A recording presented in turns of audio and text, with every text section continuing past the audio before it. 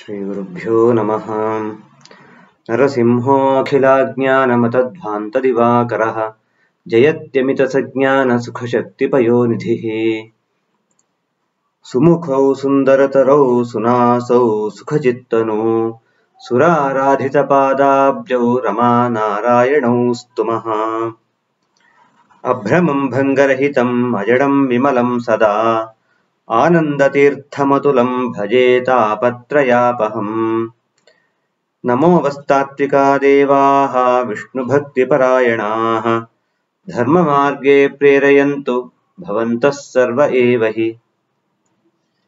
अरिभ्यः कुत्सितधियां तरिभ्यो भवसागरे। गुरुभ्यः सेविनां कल्पतरुभ्यश्च नमो नमः चित्रैः पदैश्च गम्भीरैर्वाक्यैर्मानैरखण्डितैः। गुरुभावं व्यञ्जयन्ती भाति श्रीजयतीर्थवाक्। कंसध्वंसिपदाम्भोजसंसक्तो हंसपुङ्गवः। ब्रह्मण्यगुरुराजाख्यो वर्ततां मम मानसे।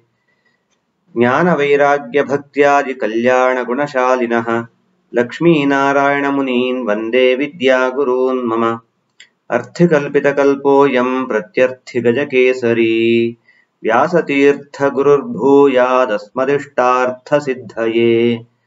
तपोविद्याविरक्त्यादिसद्गुणौघाकरानहम् वादिराजगुरून् वन्दे हयग्रीवदयाश्रयान्। भक्तानां मानसां भोजभानवे कामधेनवे नमतां कल्पतरवे जयीन्द्रगुरवे नमः। वन्दारुकल्पतरवे वादिकैरवभानवे श्रीरामचन्द्रगुरवे नमः कारुण्यसिन्धवे। मूकोऽपि यत्प्रसादेन मुकुन्दशयनायते। राजराजायते रिक्तो राघवेन्द्रं तमाश्रये। श्रीगुरुभ्यो नमः लक्ष्मीपतिं सम्प्रणम्य सर्वज्ञादिगुरूनपि पदार्थानां सङ्ग्रहोऽयं क्रियते शास्त्रतोञ्जसा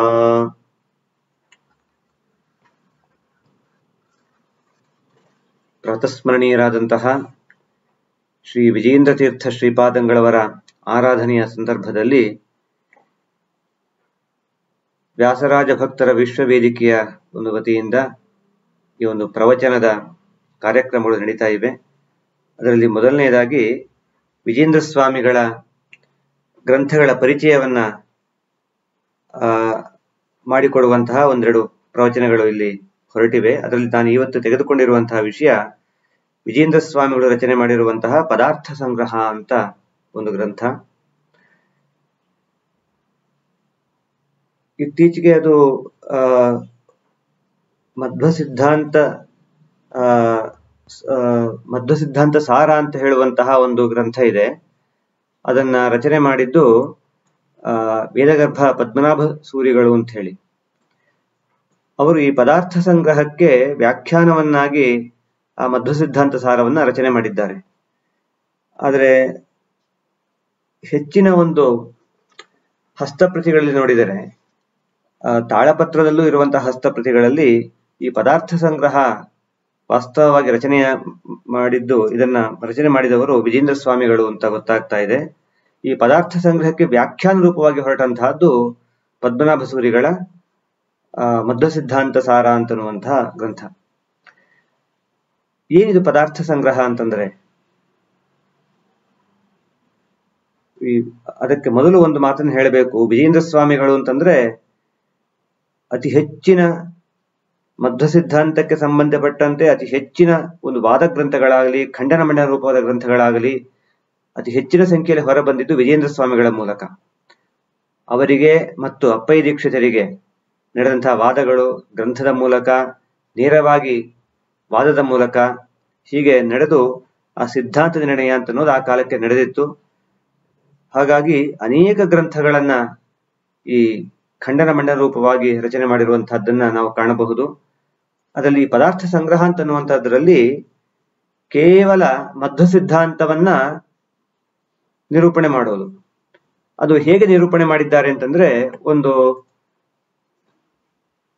ಇಲ್ಲಿ ವಿಶಿ, ವೈಶಿಷ್ಟ್ಯ ಇದೆ ಏನಂತಂದ್ರೆ ಈ ಸಾಮಾನ್ಯವಾಗಿ ಶಾಸ್ತ್ರಾಭ್ಯಾಸ ಮಾಡುವವರೆಲ್ಲ ಈ ತರ್ಕ ಸಂಗ್ರಹವನ್ನು ಓದಿರ್ತಾರೆ. ಅನ್ನಂ ಭಟ್ಟ ಅಂತ ಹೇಳಿ ಇರುವಂತಹ ವಿದ್ವಾಂಸರು ರಚನೆ ಮಾಡಿದಂತಹ ತರ್ಕ ಸಂಗ್ರಹ. ಅದು ತರ್ಕ ಸಂಗ್ರಹ ಏನು ಪ್ರಾಮಾಣ್ಯವೇನಲ್ಲ ನಮಗೆ. ಆದರೆ ಕೇವಲ ವಾದದ ದೃಷ್ಟಿಯಿಂದ ಅದನ್ನು ಅಧ್ಯಯನ ಮಾಡೋದುಂಟು. ಶ್ರೀಮದ್ ಆಚಾರ್ಯ ಹೇಳ್ತಾರೆ, ಮೂಲತಃ ಬ್ರಹ್ಮತರ್ಕ, ಸಾಕ್ಷಾತ್ ಭಗವಂತನೇ ರಚನೆ ಮಾಡಿಕೊಟ್ಟಂತಹ ಬ್ರಹ್ಮತರ್ಕ ಅಂತಿದೆ. ಅದರ ಅನುಸಾರವಾಗಿಯೇನೆ ಅವರು ಪ್ರಮಾಣ ಲಕ್ಷಣ ಕಥಾಲಕ್ಷಣ ಮುಂತಾದ ಗ್ರಂಥವನ್ನು ರಚನೆ ಮಾಡಿಕೊಟ್ಟಿದ್ದು. ಆದರೆ ಇತ್ತಿ ಇವತ್ತಿಗೂ ಕೂಡ ಆ ತರ್ಕ ಸಂಗ್ರಹ ಅಂತನ್ನುವಂತಹದ್ದನ್ನ ಎಲ್ಲಾ ಶಾಸ್ತ್ರ ಓದುವವರು ಎಲ್ಲರೂ ಕೂಡ ಅಧ್ಯಯನ ಮಾಡ್ತಾರೆ. ಅಲ್ಲಿ ಹೇಳಿದ್ದು ಸರಿ ಇಲ್ಲ ಅಂತ ಗೊತ್ತು. ಆದರೂ ಕೂಡ ಅಲ್ಲಿ ಹೇಳಿದಂತಹ ದ್ರವ್ಯ, ಗುಣ, ಕರ್ಮ ಅಂತ ಹೇಳಿ ಹೇಳ್ತಾರೆ. ಅಲ್ಲಿ ಪದಾರ್ಥಗಳ ನಿರೂಪಣೆಯಾಗಲಿ ಗುಣಗಳ ನಿರೂಪಣೆಯಾಗಲಿ ಯಾವುದೂ ಕೂಡ ಅದು ಪರಿಪೂರ್ಣವೂ ಅಲ್ಲ, ಮತ್ತೆ ನಿರ್ದುಷ್ಟವೂ ಅಲ್ಲ. ಮತ್ತೆ ಅನೇಕ ದೋಷಗಳಿಂದ ಕೂಡಿರುವಂತಹದ್ದು, ಅನೇಕ ನ್ಯೂನತೆಗಳಿಂದ ಕೂಡಿರುವಂತಹದ್ದು ಕೂಡ. ಆದ್ರೆ ಎಲ್ಲರೂ ಅದನ್ನೇ ಓದ್ತಾರೆ. ಅದಕ್ಕೆ ವಿಜೇಂದ್ರ ಸ್ವಾಮಿಗಳು ಇದು ಪದಾರ್ಥ ಸಂಗ್ರಹದ ಒಂದು ವೈಶಿಷ್ಟ್ಯ ಅಂತಂದ್ರೆ, ಆ ತರ್ಕ ಸಂಗ್ರಹದ ಶೈಲಿ ಅದ ನಿರೂಪಣೆ ಮಾಡಿದ್ದು ಮಾತ್ರ ಮಧ್ವ ಸಿದ್ಧಾಂತವನ್ನ ಅಲ್ಲಿ ಪ್ರಾರಂಭದಲ್ಲಿ ವಿಜೇಂದ್ರ ಸ್ವಾಮಿಗಳು ಹೇಳ್ತಾರೆ, ಲಕ್ಷ್ಮೀಪತಿಂ ಸಂಪ್ರಣಮ್ಯ ಸರ್ವಜ್ಞಾದಿ ಗುರುವನಪಿ ಪದಾರ್ಥಾನಾಂ ಸಂಗ್ರಹೋಯಂ ಕ್ರಿಯತೆ ಶಾಸ್ತ್ರತೋಂಜಸ.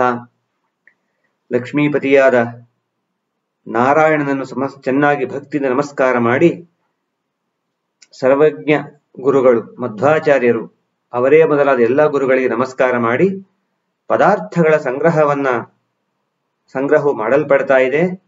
ಶಾಸ್ತ್ರದಿಂದಾಗಿ ತಮಗೆ ತೋಚಿದ್ದು ಅಂತ ಮಾಡ್ತಾ ಇಲ್ಲ.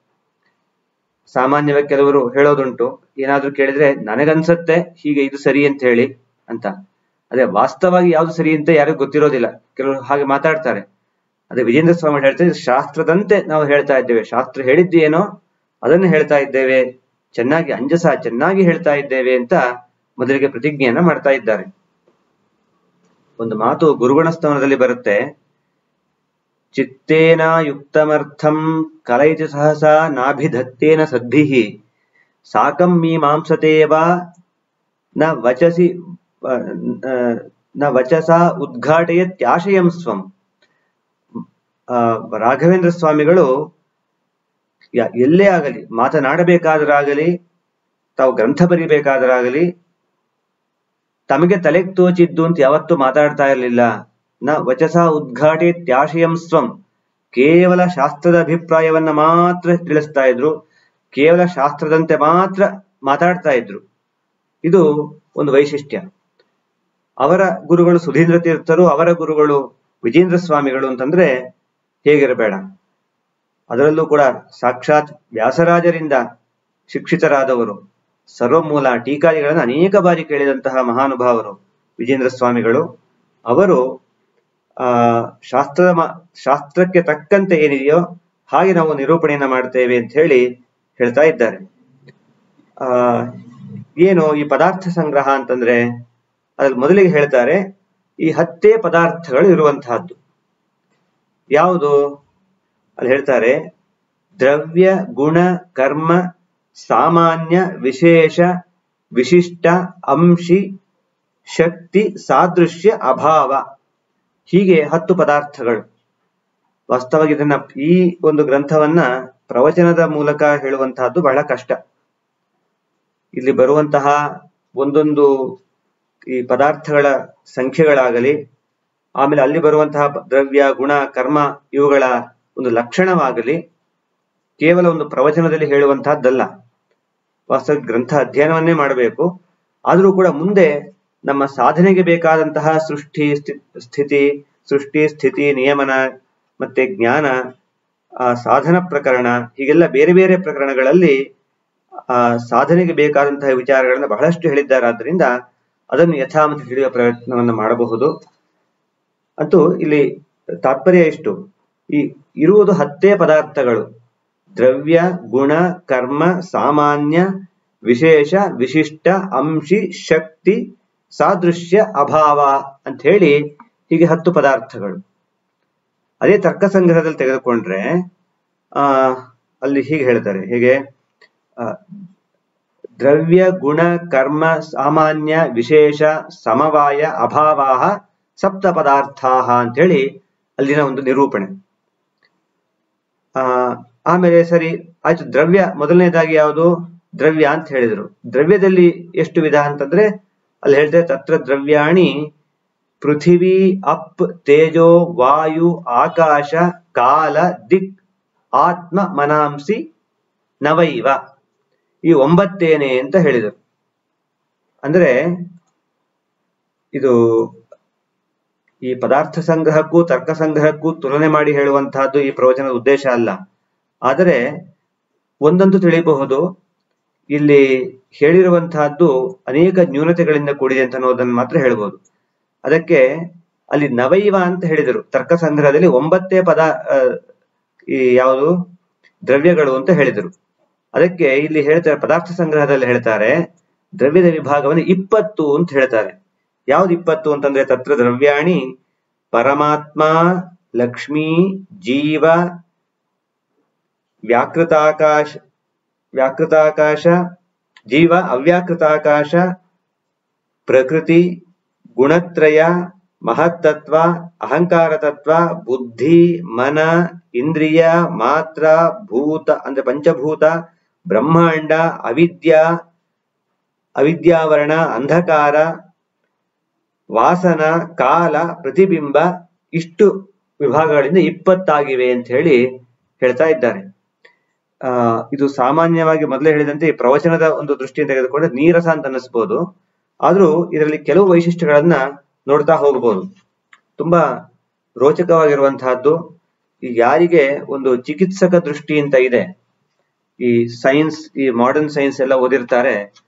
ಅಂತಹವರು ಇದನ್ನ ಈ ಗ್ರಂಥವನ್ನು ಚೆನ್ನಾಗಿ ನೋಡಿದ್ದೆ ಆದ್ರೆ ಎಷ್ಟು ಒಂದು ವ್ಯವಸ್ಥಿತವಾಗಿ ನಿರೂಪಣೆ ಮಾಡಿದ್ದಾರೆ, ಈ ಶಾಸ್ತ್ರದ ಎಲ್ಲ ವಿಚ, ವಿಚಾರಗಳನ್ನ, ಈ ಪ್ರಪಂಚದಲ್ಲಿ ಇರುವಂತಹ ಪದಾರ್ಥಗಳನ್ನು ಹೇಗೆ ವಿಭಾಗ ಮಾಡಿದ್ದಾರೆ, ಆ ವಿಭಾಗದ ಕ್ರಮ, ಅಲ್ಲಿ ಬಂದಿರುವಂತಹ ಆ ನಿರೂಪಣೆಯ ಕ್ರಮ, ಎಲ್ಲವನ್ನೂ ಕೂಡ, ಆ, ತುಂಬಾ ಚೆನ್ನಾಗಿ ಮೆಚ್ಚುಗೆ ಮೆಚ್ಚಬೇಕಾಗತ್ತೆ, ಯಾರೇ ಆಗಲಿ.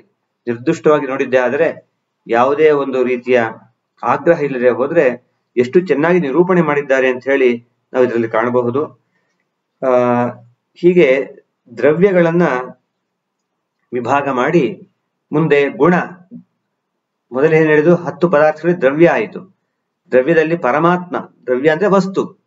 ಪರಮಾತ್ಮ ಒಂದು ವಸ್ತು. ಲಕ್ಷ್ಮಿ ಇನ್ನೊಂದು. ಜೀವ, ಅವ್ಯಾಕೃತಾಕಾಶ, ಪ್ರಕೃತಿ. ಹೀಗೆ ಎಲ್ಲ ವಿಭಾಗ ಮಾಡ್ತಾ ಬರ್ತಾ ಇದ್ದಾರೆ. ಇನ್ನು ಗುಣ ಅಂತ ಬಂದಾಗ ಅನೇಕ ಗುಣಗಳಿವೆ. ಅದ್ರಲ್ಲಿ ಹೇಳ್ತಾರೆ, ಆ ಈ, ಇಲ್ಲಿ, ಆ, ಇದರಲ್ಲಿ, ಇಲ್ಲಿ ತರ್ಕ ಸಂಗ್ರಹದಲ್ಲಿ ಅವ್ರು ಎಷ್ಟು ಹೇಳ್ತಾರೆ? ಒಂದು ಇಪ್ಪತ್ನಾಲ್ಕು ಗುಣಗಳನ್ನು ಹೇಳ್ತಾರೆ.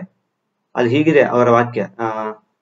ರೂಪ, ರಸ, ಗಂಧ, ಸ್ಪರ್ಶ, ಸಂಖ್ಯಾ, ಪರಿಮಾಣ, ಪೃಥತ್ವ, ಸಂಯೋಗ, ವಿಭಾಗ, ಪರತ್ವ, ಅಪರತ್ವ, ಗುರುತ್ವ, ದ್ರವತ್ವ, ಸ್ನೇಹ, ಶಬ್ದ, ಬುದ್ಧಿ, ಸುಖ, ದುಃಖ, ಇಚ್ಛಾ, ದ್ವೇಷ ಪ್ರಯತ್ನ, ಧರ್ಮ, ಅಧರ್ಮ, ಸಂಸ್ಕಾರಾಶ್ಚತುರ್ವಿಂಶತಿರ್ ಗುಣಾಹ. ಈಗ ಇಪ್ಪತ್ನಾಲ್ಕೇ ಗುಣಗಳು ಅಂತ. ನಾವು ಹಾಗೆ ಹೇಳೋದಿಲ್ಲ. ಅನಂತ ಗುಣಗಳಿವೆ. ಪರಮಾತ್ಮನಲ್ಲೇ ತೆಗೆದುಕೊಂಡ ಅನಂತ ಗುಣಗಳಿವೆ. ಹಾಗಾಗಿ ಎಷ್ಟು ಗುಣಗಳು? ಅನೇಕ ಗುಣಗಳು. ಅದಕ್ಕೆ ಒಂದು ಎಕ್ಸಾಂಪಲ್ಸ್ ಕೊಡಬೇಕಲ್ಲ. ಉದಾಹರಣೆ ಕೊಡಬೇಕಲ್ಲ ಅಂತಂದ್ರೆ ಅದಕ್ಕೆ ಕೊಡ್ತಾರೆ. ಅದಕ್ಕೆ ಉದಾಹರಣೆ ಕೊಡುವ ಒಂದು ನೆಪದಲ್ಲಿ ಎಷ್ಟು ಗುಣಗಳು ಅಂತ ಹೇಳ್ತಾ ಹೋಗ್ತಾರೆ. ಅದಕ್ಕೆ ರೂಪ, ರಸ, ಗಂಧ, ಸ್ಪರ್ಶ ಸಂಖ್ಯಾ ಪರಿಮಾಣ ಸಂಯೋಗ ವಿಭಾಗ ಪರತ್ವ ಅಪರತ್ವ ದ್ರವತ್ವ ಗುರುತ್ವ ಲಘುತ್ವ ಮೃದುತ್ವ ಹ್ಮ್, ಕಠಿಣತ್ವ ಸ್ನೇಹ ಶಬ್ದ ಬುದ್ಧಿ ಸುಖ ದುಃಖ ಇಚ್ಛಾ ದ್ವೇಷ ಪ್ರಯತ್ನ ಧರ್ಮ ಅಧರ್ಮ ಸಂಸ್ಕಾರ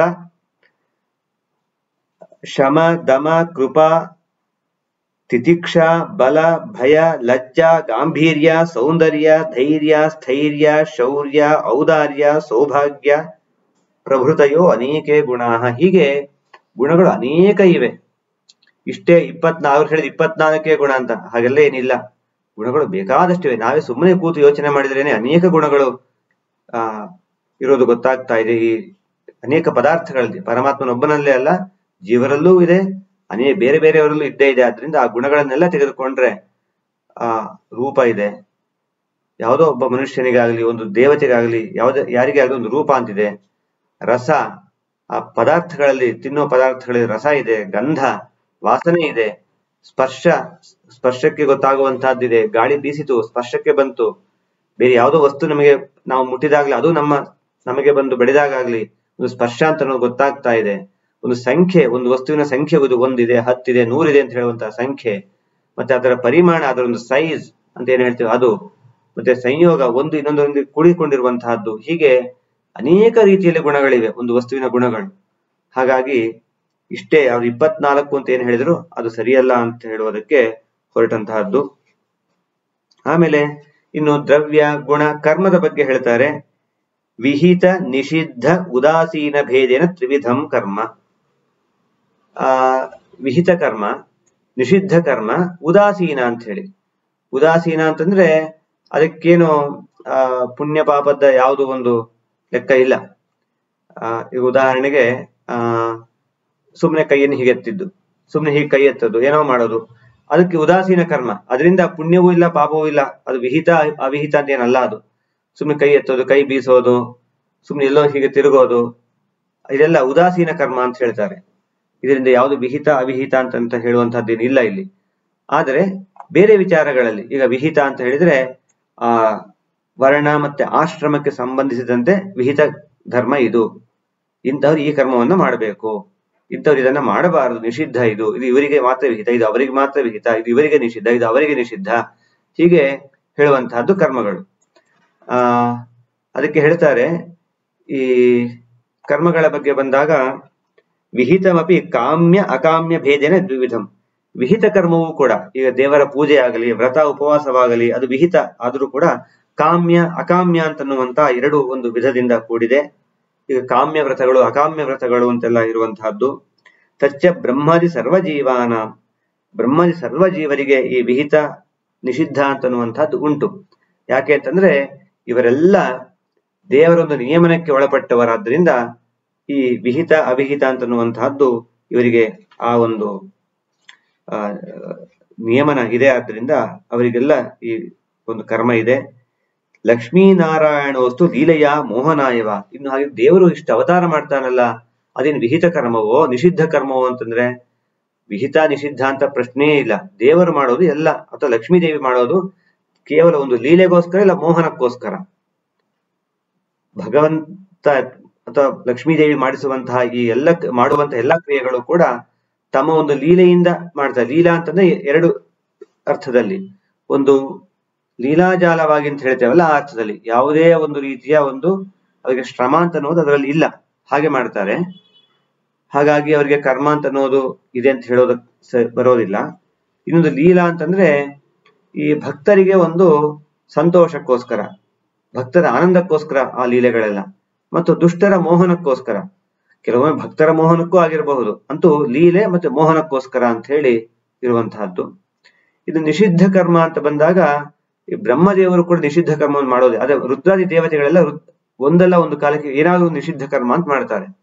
ಇನ್ನು ಸಾಮಾನ್ಯ ಜೀವರಂತೂ ಲೆಕ್ಕವೇ ಇಲ್ಲ. ದಿನಕ್ಕೆ ಬೇಕಾದಷ್ಟು ನಿಷಿದ್ಧ ಕರ್ಮಗಳು ಆಗ್ತಾನೆ ಇರುತ್ತೆ. ಆ, ಮತ್ತೆ ಉದಾಸೀನ ಕರ್ಮ. ಉದಾಸೀನ ಕರ್ಮ ಅಂದ್ರೆ ಯಾವುದು? ಅವ್ರು ಹೇಳ್ತಾರೆ ಸಚ ಉತ್ಕ್ಷೇಪಣ ಅಪಕ್ಷೇಪಣ ಅಕುಂಚನ ಪ್ರಸಾರಣ ಹೀಗೆನೆ ಎಸೆಯೋದು, ಆಮೇಲೆ ಒಂದು ಕಡೆ ಕೈಯನ್ನು ತೆಗೆದುಕೊಂಡು ಹೋಗೋದು, ಗಮನ ಹೋಗ, ಆಗಮನ, ಹೋಗೋದು ಒಂದ್ ಕಡೆಗೆ ಬರೋದು, ಏನು ಉದಾಸೀನ ಕರ್ಮ ಅಂತ ಹೇಳಿ ಬಿಡ್ತಾರೆ. ಇಷ್ಟೆಲ್ಲ ಹೀಗೆ ಈ ಕರ್ಮಗಳ ಬಗ್ಗೆ ಹೇಳಿದ್ದು. ಆ ಮತ್ತೆ ಇಲ್ಲಿ ನಿತ್ಯ ಮತ್ತು ಅನಿತ್ಯ ಅಂತ ಹೇಳಿ ಇನ್ನೊಂದು ಹೇಳ್ತಾರೆ, ಜಡ ಮತ್ತು ಚೇತನರ ಒಂದು ಧರ್ಮಗಳ ಅವುಗಳ ಕರ್ಮವನ್ನು ಹೇಳ್ತಾರೆ. ಮತ್ತೆ ನಿತ್ಯ ಮತ್ತು ಅನಿತ್ಯ ಅಂತ ಅನ್ನುವಂತಹದ್ದು ಆ, ಹೀಗೆ ಈ ಕರ್ಮದ ವಿಭಾಗವನ್ನ ಮಾಡಿ, ಆಮೇಲೆ ಇನ್ನು ಸಾಮಾನ್ಯ, ಇನ್ನು ಬೇರೆ ಬೇರೆ ವಿಚಾರಗಳನ್ನು ಹೆಚ್ಚು ಹೇಳ್ತಾ ಹೋಗ್ತಾರೆ. ಶಕ್ತಿ ಬಗ್ಗೆ ಬಂದಾಗ ಎಲ್ಲವನ್ನೂ ಹೇಳ್ತಾ ಇಲ್ಲ. ಶಕ್ತಿಯ ಬಗ್ಗೆ ಬಂದ ಚತುರ್ವಿಧ, ಅಚಿಂತ್ಯ ಶಕ್ತಿ ಸಹಜ ಶಕ್ತಿ ಆಧೇಯ ಶಕ್ತಿ ಪದಶಕ್ತಿಶ್ಚೇತಿ.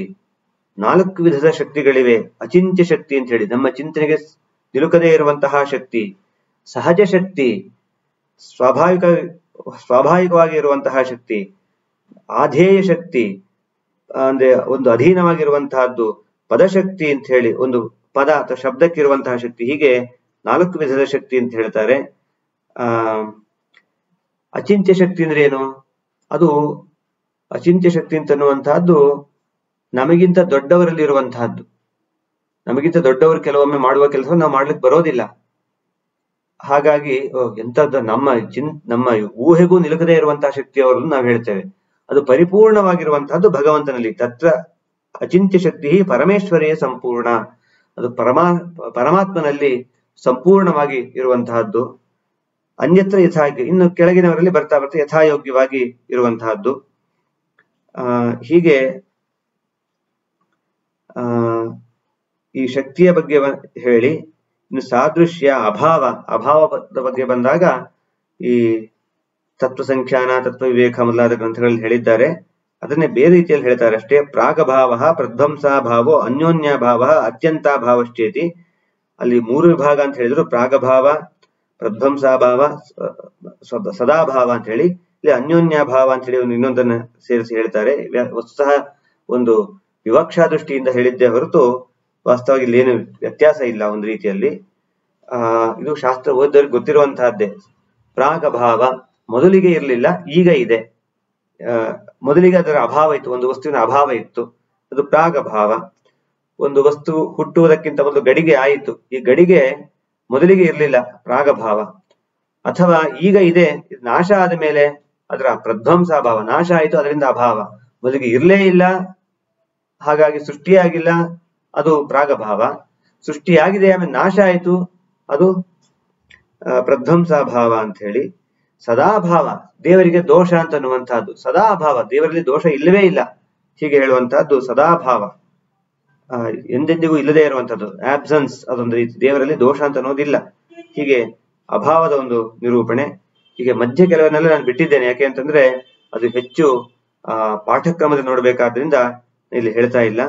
ಇನ್ನು ದ್ರವ್ಯ ಪ್ರಕರಣದಲ್ಲಿ ಮುಖ್ಯ, ಮೊದಲೇನು ಹೇಳಿದ್ರು ದ್ರವ್ಯ, ಗುಣ, ಕರ್ಮ, ಸಾಮಾನ್ಯ ಹೀಗೆಲ್ಲ ಹೇಳ್ತಾ ಬಂದ್ರು. ಇಲ್ಲಿ ಮೊದಲಿಗೆ ಸಾಮಾನ್ಯವಾಗಿ ಇವನ್ನೆಲ್ಲ ಹೇಳಿ, ಈಗ ಮತ್ತೆ ಪ್ರತ್ಯೇಕವಾಗಿ ದ್ರವ್ಯದ ಬಗ್ಗೆ ತೆಗೆದುಕೊಳ್ತಾರೆ. ಆ, ಅಲ್ಲಿ ಮೊದಲು ಹೇಳ್ತಾರೆ ತತ್ರ ಪರಮಾತ್ಮ ಅನಂತ ಗುಣ ಪರಿಪೂರ್ಣ ಸೃಷ್ಟ್ಯಾದ್ಯಷ್ಟಕರ್ತ ಸರ್ವಜ್ಞ. ಭಗವಂತನ ಒಂದು ಪರಿಚಯವನ್ನು ಮಾಡಿಕೊಡಬೇಕಾಗಿದೆ. ಏನು? ತತ್ರ ಪರಮಾತ್ಮ ಅನಂತ ಗುಣ ಪರಿಪೂರ್ಣ. ಭಗವಂತ ಅನಂತ ಗುಣಗಳಿಂದ ತುಂಬಿದವನು.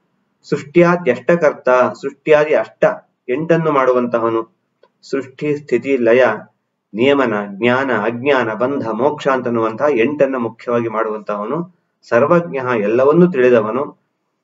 ಪರಮ ಮುಖ್ಯಯಾವೃತ್ಯ ಸಕಲ ಶಬ್ದ ವಾಚ್ಯ ಇದೆಲ್ಲ ದೇವ್- ದೇವರ ಬಗ್ಗೆ ಸದಾಕಾಲ ನಾವು ತಿಳಿದುಕೊಂಡಿರಬೇಕಾದಂತಹದ್ದು.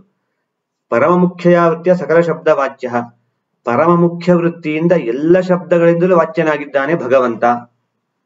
ಏನ್ ಹಾಗಂದ್ರೆ, ದೇವರು ಅವನ ಕೇಶವ, ನಾರಾಯಣ, ಮತ್ಸ್ಯ, ಕೂರ್ಮ, ಹೀಗೆಲ್ಲ ಅವನಿಗೆ ಹೆಸರಿದೆ. ಈ ಹೆಸರಿನಿಂದ ಅವನು ವಾಚ್ಯನೇ ಆಗಿದ್ದಾನೆ. ಆದರೆ ಇನ್ನು ಕೆಲವು ಹೆಸರುಗಳಿವೆ. ಇದೆಲ್ಲ ಬ್ರಹ್ಮಸೂತ್ರದಲ್ಲಿ ಬರುವಂತಹದ್ದು ಮೊದಲನೇ ಅಧ್ಯಾಯದಲ್ಲಿ. ಅದನ್ನ ಸಂಗ್ರಹ ಮಾಡಿ ಹೇಳೋದಾದ್ರೆ, ಇನ್ನು ಸೂರ್ಯ, ಚಂದ್ರ, ಇಂದ್ರ ಹೀಗೆಲ್ಲ ಈ ಶಬ್ದಗಳಿವೆ.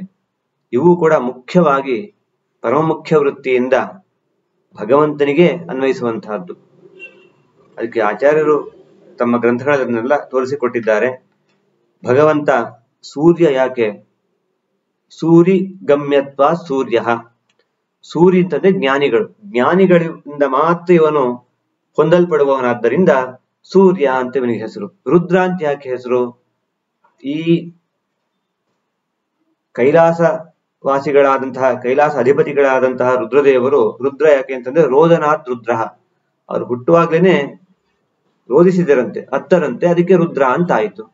ಭಗವಂತ ಯಾಕೆ ರುದ್ರ ಅಂತಂದ್ರೆ ರುಜಂ ದ್ರಾವಯತೆ ಯಸ್ಮಾತ್ ರುದ್ರಸ್ತಸ್ಮಾತ್ ಜನಾರ್ದನಃ. ಈ ಭಕ್ತರ ಅಥವಾ ಎಲ್ಲ ಜೀವರ ರೋಗವನ್ನು ರುಜಂ ದ್ರಾವಯತೆ ಯಸ್ಮಾತ್ ಎಲ್ಲವನ್ನು ಕೂಡ ಹೋಗಲಾಡಿಸಿ ಬಿಡ್ತಾನೆ. ರೋಗವನ್ನು ಹೋಗಲಾಡಿಸ್ತಾನ ಅದರಿಂದ ರುದ್ರ ದ್ರಾವಯತೆ ಅದನ್ನ ಓಡಿಸಿ ಬಿಡ್ತಾನಾದ್ರಿಂದ ಅದು ಅಲ್ಲಿ ಇರಬಾರ್ದು ಹಾಗೆ ಮಾಡ್ತಾನಾದ್ರಿಂದ ಅವನು ರುದ್ರ. ಇನ್ನು ಇಂದ್ರ ಯಾಕೆ ಅಂತಂದ್ರೆ, ಇದಿ ಪರಮೈಶ್ವರಿ ಅಂತ ಒಂದು ಧಾತು.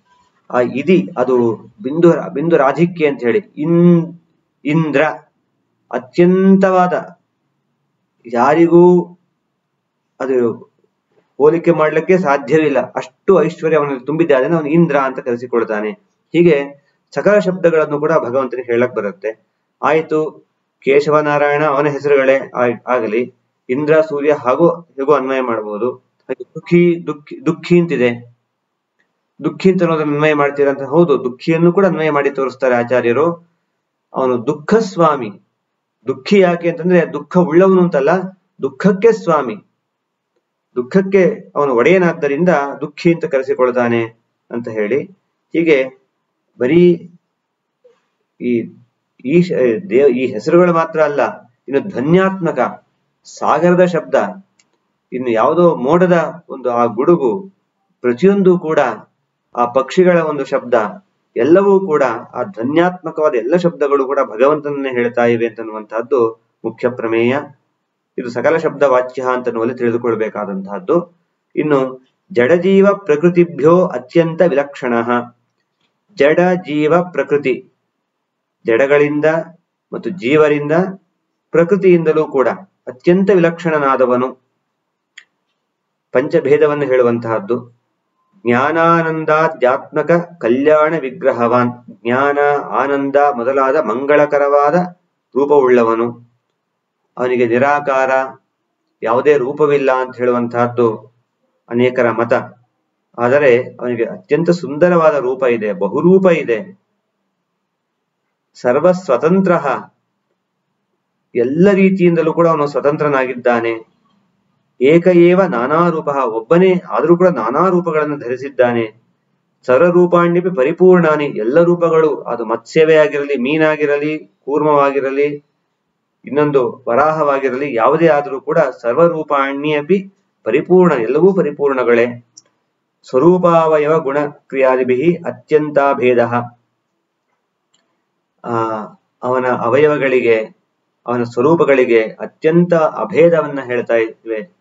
ಅಂದ್ರೆ ನೇಹ ನಾನಾಸ್ತಿ ಕಿಂಚನ ಮೊದಲಾದ ಮೊದಲಾದ ಶ್ರುತಿಗಳೆಲ್ಲ ಇದೇ ಅರ್ಥದಲ್ಲಿ ಹೊರಟಿರುವಂತಹದ್ದು. ಇನ್ನು ಲಕ್ಷ್ಮಿ ಬಗ್ಗೆ ಹೇಳಬೇಕಾದ್ರೆ ಸ್ಥೂಲವಾಗಿ ಹೇಳ್ತಾರೆ ಇದ್ದ- ಇದ್ದಾರೆ. ಪರಮಾತ್ಮ ಭಿನ್ನ, ತನ್ಮಾತ್ರಾಧೀನ ಲಕ್ಷ್ಮೀ ಪರಮಾತ್ಮನಿಂದ ಭಿನ್ನಳಾದವಳು. ಅತ್ಯಂತ ಹತ್ತಿರದಲ್ಲಿದ್ದಾಳೆ, ವಕ್ಷಸ್ಥಳದಲ್ಲೇ, ಪರಮಾತ್ಮನ ವಕ್ಷಸ್ಥಳದಲ್ಲೇ ಇದ್ದಾಳೆ. ಆದರೂ ಕೂಡ ಅತ್ಯಂತ ಭಿನ್ನ ಭಿನ್ನಳಾದವಳು. ಆದರೆ ಪರಮಾತ್ಮನಿಗೆ ಮಾತ್ರ ಅಧೀನ ಅಧೀನಳಾಗಿರುವಂತಹವಳೆ ಹೊರತು ಬೇರೆ ಯಾವ ಜೀವರಿಗೂ ಕೂಡ ಅವಳು ಅಧೀನಳಾಗಿಲ್ಲ. ಪರಮಾತ್ಮವತ್ ನಿತ್ಯ ಮುಕ್ತ.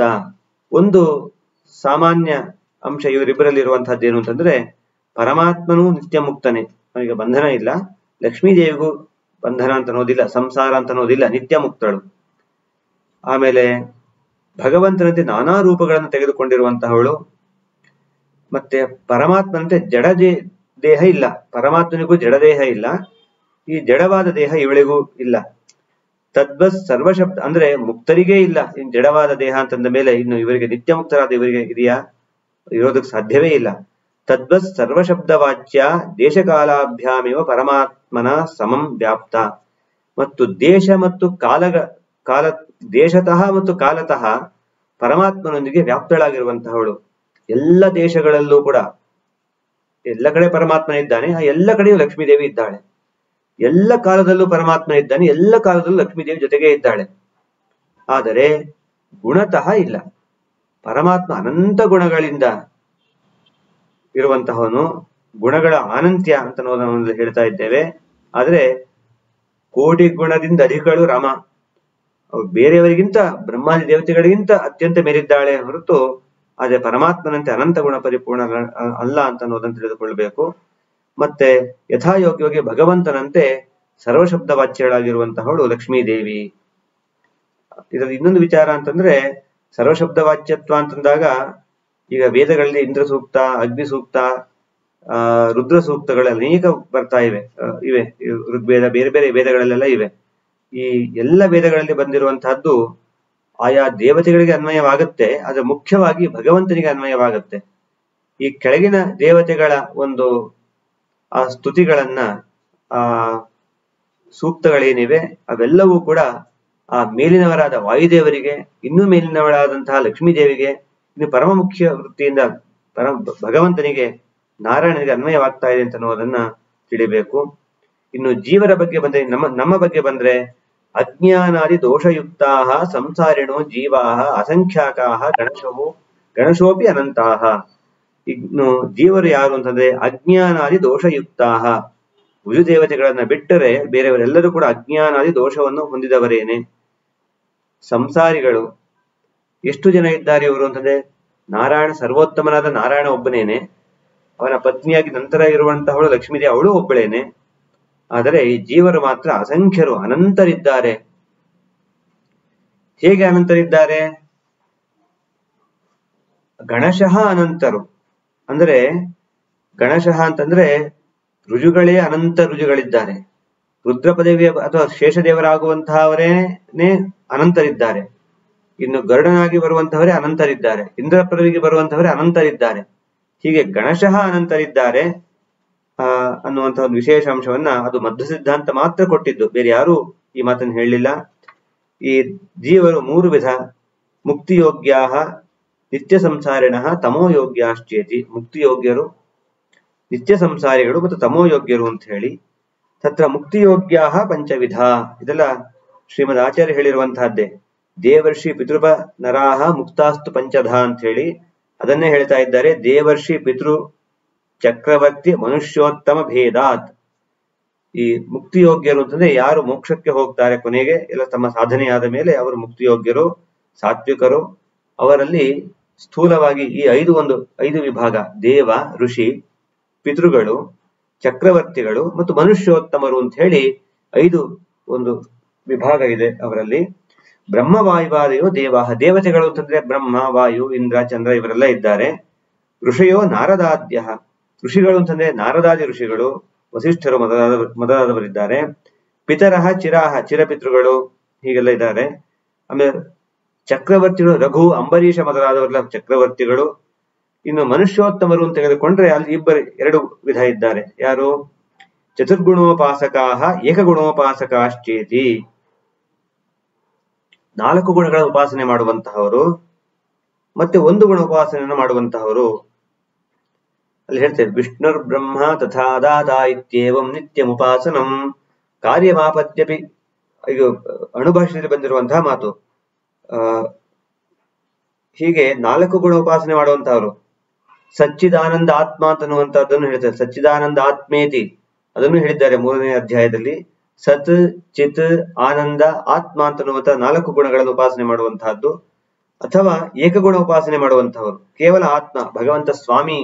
ನಮ್ಮೆಲ್ಲರ ಸ್ವಾಮಿ ಅಂತ ಹೇಳುವಂತಹದ್ದು ಅಂತರ್ಯಾಮಿ ಅಂತ ಚಿಂತನೆ ಮಾಡುವಂತಹದ್ದು ಇದನ್ನು ಮಾತ್ರ ಸದಾಕಾಲ ಮಾಡಬೇಕು. ಇದು ಯಾರು? ಏಕಗುಣೋಪಾಸಕರು ಮಾಡುವಂತಹದ್ದು ಇನ್ನು ತೃಣಜೀವರು ಯಾರಿದ್ದಾರೆ? ಅವರು ಏಕಗುಣೋಪಾಸಕರು ಅಂತ ಹೇಳ್ತಾ ಇದ್ದಾರೆ. ಇನ್ನು ಅದಕ್ಕಿಂತ ಬೇರೆ ಭಿನ್ನರಾದವರು ಚತುರ್ಗುಣೋಪಾಸಕರು ಅಂತ ಹೇಳಿ. ಇನ್ನು ಇದು ಸಾತ್ವಿಕ ಜೀವರ ಬಗ್ಗೆ ಆಯಿತು, ಮುಕ್ತಿಯೋಗ್ಯ ಜೀವರ ಬಗ್ಗೆ ಆಯಿತು. ನಿತ್ಯ ಸಂಸಾರಿಗಳ ಬಗ್ಗೆ ಬಂದ್ರೆ ನಿತ್ಯಂ ಸುಖ ದುಃಖ ಮಿಶ್ರಾಹ ನಿತ್ಯ ಸಂಸಾರಿಣ. ನಿತ್ಯದಲ್ಲೂ ಸುಖ ಮತ್ತು ದುಃಖದಿಂದ ಕೂಡಿದಂತಹವರು ನಿತ್ಯ ಸಂಸಾರಿಗಳು ತೇಜ ಮಧ್ಯಮ ಮನುಷ್ಯ ಏವ ಅಸಂಖ್ಯಾತಾಹ ಸರ್ವದಾ ಸ್ವರ್ಗ ಭೂ ನಿರ್ಯಚಾರಿಣ ಅವರು ಕೂಡ ಅಸಂಖ್ಯರಿದ್ದಾರೆ. ಈ ಸ್ವರ್ಗ, ಭೂಮಿ ಮತ್ತು ನರಕಗಳಲ್ಲಿ ಸುತ್ತಾಡ್ತಾ ಇರ್ತಾರೆ. ಇದು ನಿತ್ಯ ಸಂಸಾರಿಗಳ ಒಂದು ವಿಚಾರ ಆಯಿತು. ತಮಯೋಗ್ಯರ ಬಗ್ಗೆ ಬಂದ್ರೆ ಅವರು ನಾಲ್ಕು ವಿಧ. ಯಾವ ನಾಲ್ಕು ವಿಧ ಅಂತಂದ್ರೆ, ದೈತ್ಯ ರಕ್ಷ, ಪಿಶಾಚ, ಮನುಷ್ಯ, ಮನುಷ್ಯಾಧಮಾಶ್ಚೇತಿ. ದೈತ್ಯರು ರಾಕ್ಷಸರು ಪಿಶಾಚರು ಮತ್ತು ಮನುಷ್ಯಾಧಮರು ಅಂತ ಹೇಳಿ ನಾಲ್ಕು ವಿಧಗಳು.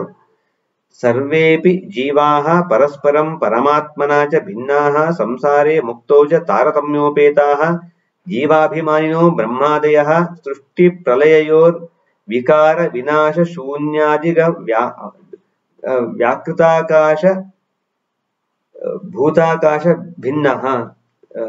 ಅಂದ್ರೆ ಈ ಎಲ್ಲ ಜೀವರು ಕೂಡ ಪರಸ್ಪರ ಭಿನ್ನರು, ದೇವರಿಂದ ಭಿನ್ನರು, ತಾರತಮ್ಯ ಇದೆ ಇವರಲ್ಲಿ. ದೇವತೆಗಳಲ್ಲೂ ತಾರತಮ್ಯ ಇದೆ, ದೈತ್ಯರಲ್ಲೂ ತಾರತಮ್ಯ ಅಂತನ್ನುವಂತಹದ್ದಿದೆ.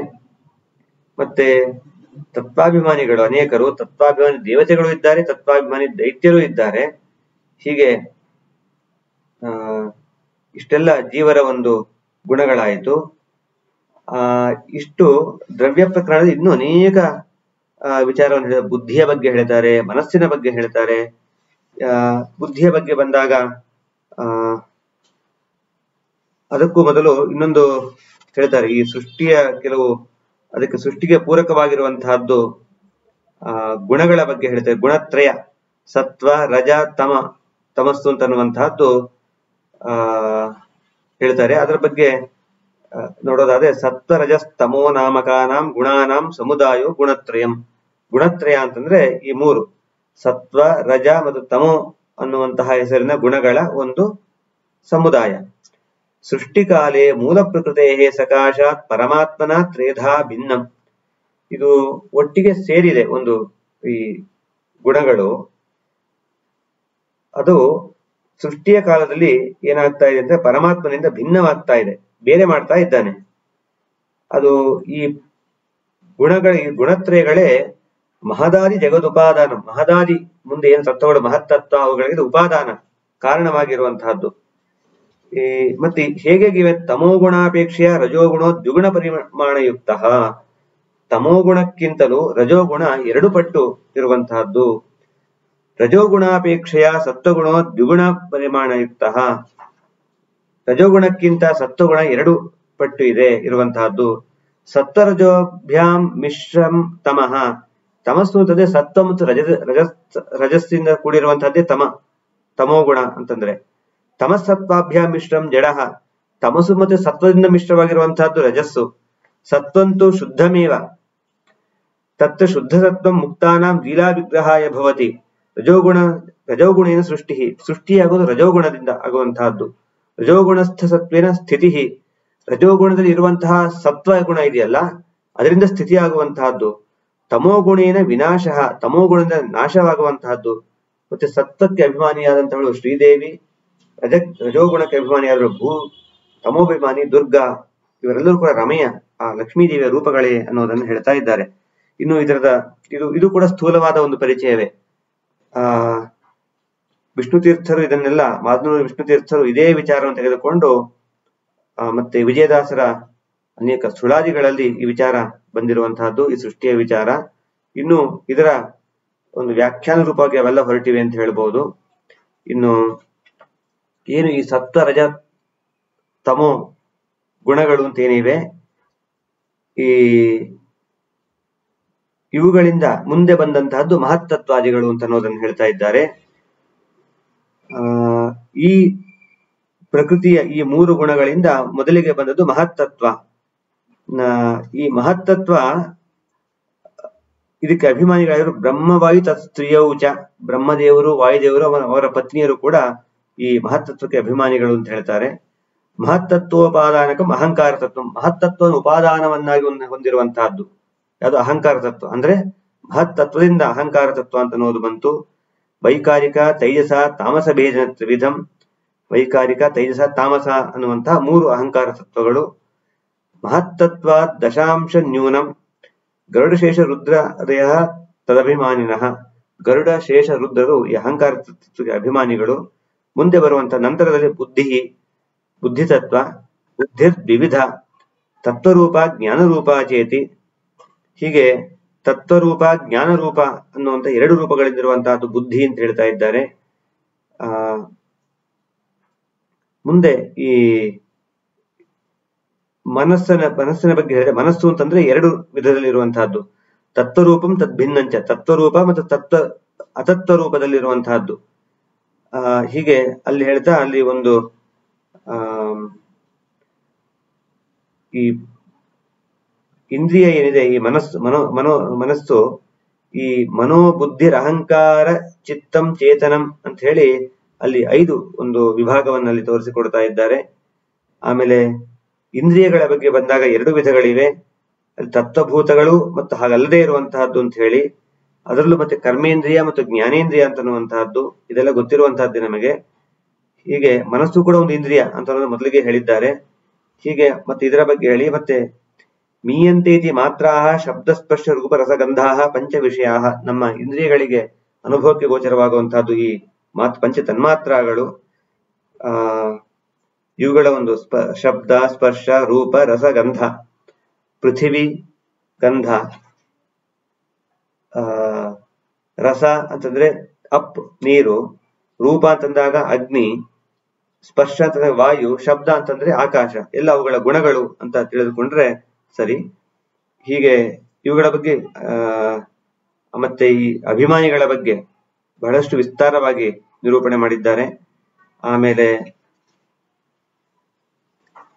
ಈ ಸೃಷ್ಟಿಯ ಒಂದು ಪ್ರಕ್ರಿಯೆಗೆ ಪೂರಕವಾಗಿ ಕೆಲವು ವಿಚಾರಗಳನ್ನೆಲ್ಲ ಹೇಳ್ತಾರೆ. ಆ ಭಗವಂತನ ಉದ, ಉದರದಿಂದ ಹುಟ್ಟಿ ಬಂದಂತಹ ಪದ್ಮ, ಅಲ್ಲಿ ಅಲ್ಲಿ ಹೇಳ್ತಾರೆ ತತಃ ಉದಕೆ ಶಯಾನಸ್ಯ ಭಗವತೋ ನಾಭೇಹೇ ಪದ್ಮಭೂತ್ ಪದ್ಮೆ ಚತುರ್ಮುಖೋ ಅಜನಿ ಆ ಪದ್ಮದಲ್ಲಿ ಚತುರ್ಮುಖ ಬ್ರಹ್ಮದೇವರು, ಆ ಅವನಿಂದ ತಸ್ಮಾತ್ ಪುನಃ ದೇವಾದಯ ಮನ ಆದಿನಿ ಪೃಥಿವ್ಯಾಂತಾನಿ, ಆ ಬ್ರಹ್ಮದೇವರಿಂದ ದೇವಾದಿಗಳು ಮನಸ್ಸು ಮೊದಲಾದವುಗಳು, ಪೃಥಿವಿ ಮೊದಲಾದವುಗಳು ಹುಟ್ಟಿ ಬಂದವು.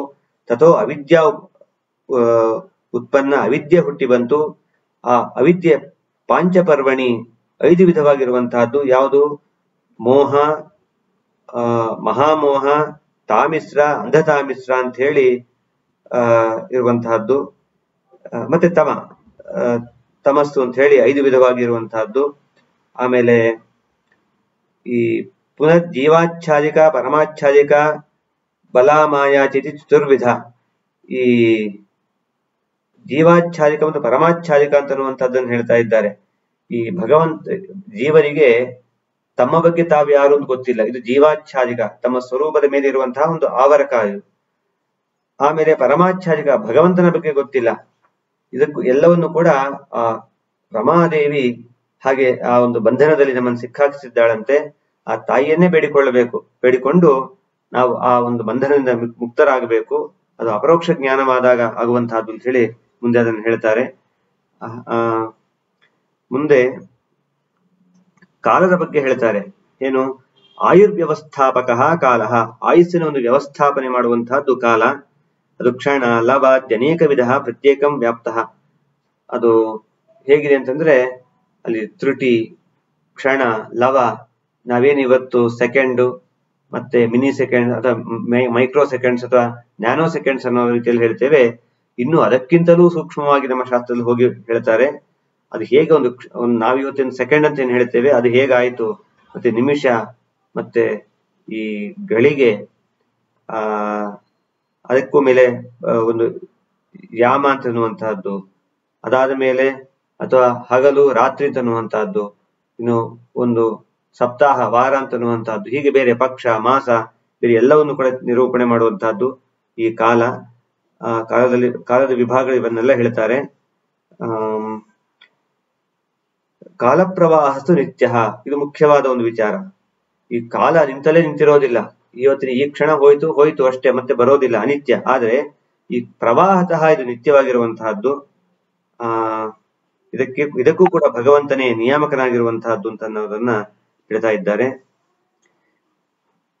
ಮತ್ತೆ, ಪರಮಾತ್ಮ ವ್ಯತಿರಿಕ್ತ ಸರ್ವೇಪಿ ಚೇತನಾ ಪರಮಾತ್ಮ ಪ್ರತಿಬಿಂಬಾ ನಿತ್ಯಾಹ. ಈ ಪರಮಾತ್ಮನಿಂದ ಬೇರೆಯಾದಂತಹ ಎಲ್ಲ ಚೇತನರು ಕೂಡ, ಜೀವರು ಕೂಡ ಪರಮಾತ್ಮನ ಪ್ರತಿಬಿಂಬ ಭೂತರಾಗಿ ಕೆಲವು ಸಾಕ್ಷಾತ್ತಾಗಿ ಮತ್ತು ಪರಂಪರೆಯ ಪ್ರತಿಬಿಂಬ ಭೂತರಾಗಿ ನಿತ್ಯರಾಗಿ ಇರುವಂತಹವರು ಎಲ್ಲ ಜೀವರು ನಿತ್ಯರೇ. ಈ ದೇಹ ನಾಶ ಇದೆಯಾದ್ರೂ ಕೂಡ ಈ ಜೀವರು ಸದಾ ನಿತ್ಯರೇ ಆಗಿದ್ದಾರೆ ಅಂತ ಹೇಳಿ ನಿರೂಪಣೆ ಮಾಡಿದ್ದ, ಮಾಡಿದ್ದಾರೆ. ಹೀಗೆ ಒಂದು ದ್ರವ್ಯದ ನಿರೂಪಣೆಯನ್ನ ಮಾಡಿದ್ರು. ಇದರಲ್ಲೂ ಎಷ್ಟೋ ವಿಚಾರ ಬಿಟ್ಟಿದ್ದೇನೆ ನಾನು. ಆದ್ರೆ ಸ್ಥೂಲವಾಗಿ ಯಾವುದನ್ನ ತಿಳ್ಕೊಳ್ಬೇಕು ಅದನ್ನ ಮಾತ್ರ ಇಲ್ಲಿ ಹೇಳುವ ಪ್ರಯತ್ನ ಮಾಡಿದ್ದೇನೆ. ಇನ್ನು ಗುಣ ನಿರೂಪಣೆ ಮಾಡ್ತಾ ಬರ್ತಾರೆ. ಗುಣರೂಪ ನಿರೂಪಣೆ ಮಾತ್ರ ಬಹಳ ದೊಡ್ಡದು. ಇದನ್ನೇ ಒಂದು ಒಂದು ಕನಿಷ್ಠ ಪಕ್ಷ ಒಂದು ಎರಡು ಮೂರು ಗಂಟೆ ಹೊತ್ತು ಹೇಳಬೇಕು. ಅಷ್ಟು ದೊಡ್ಡದಿದೆ.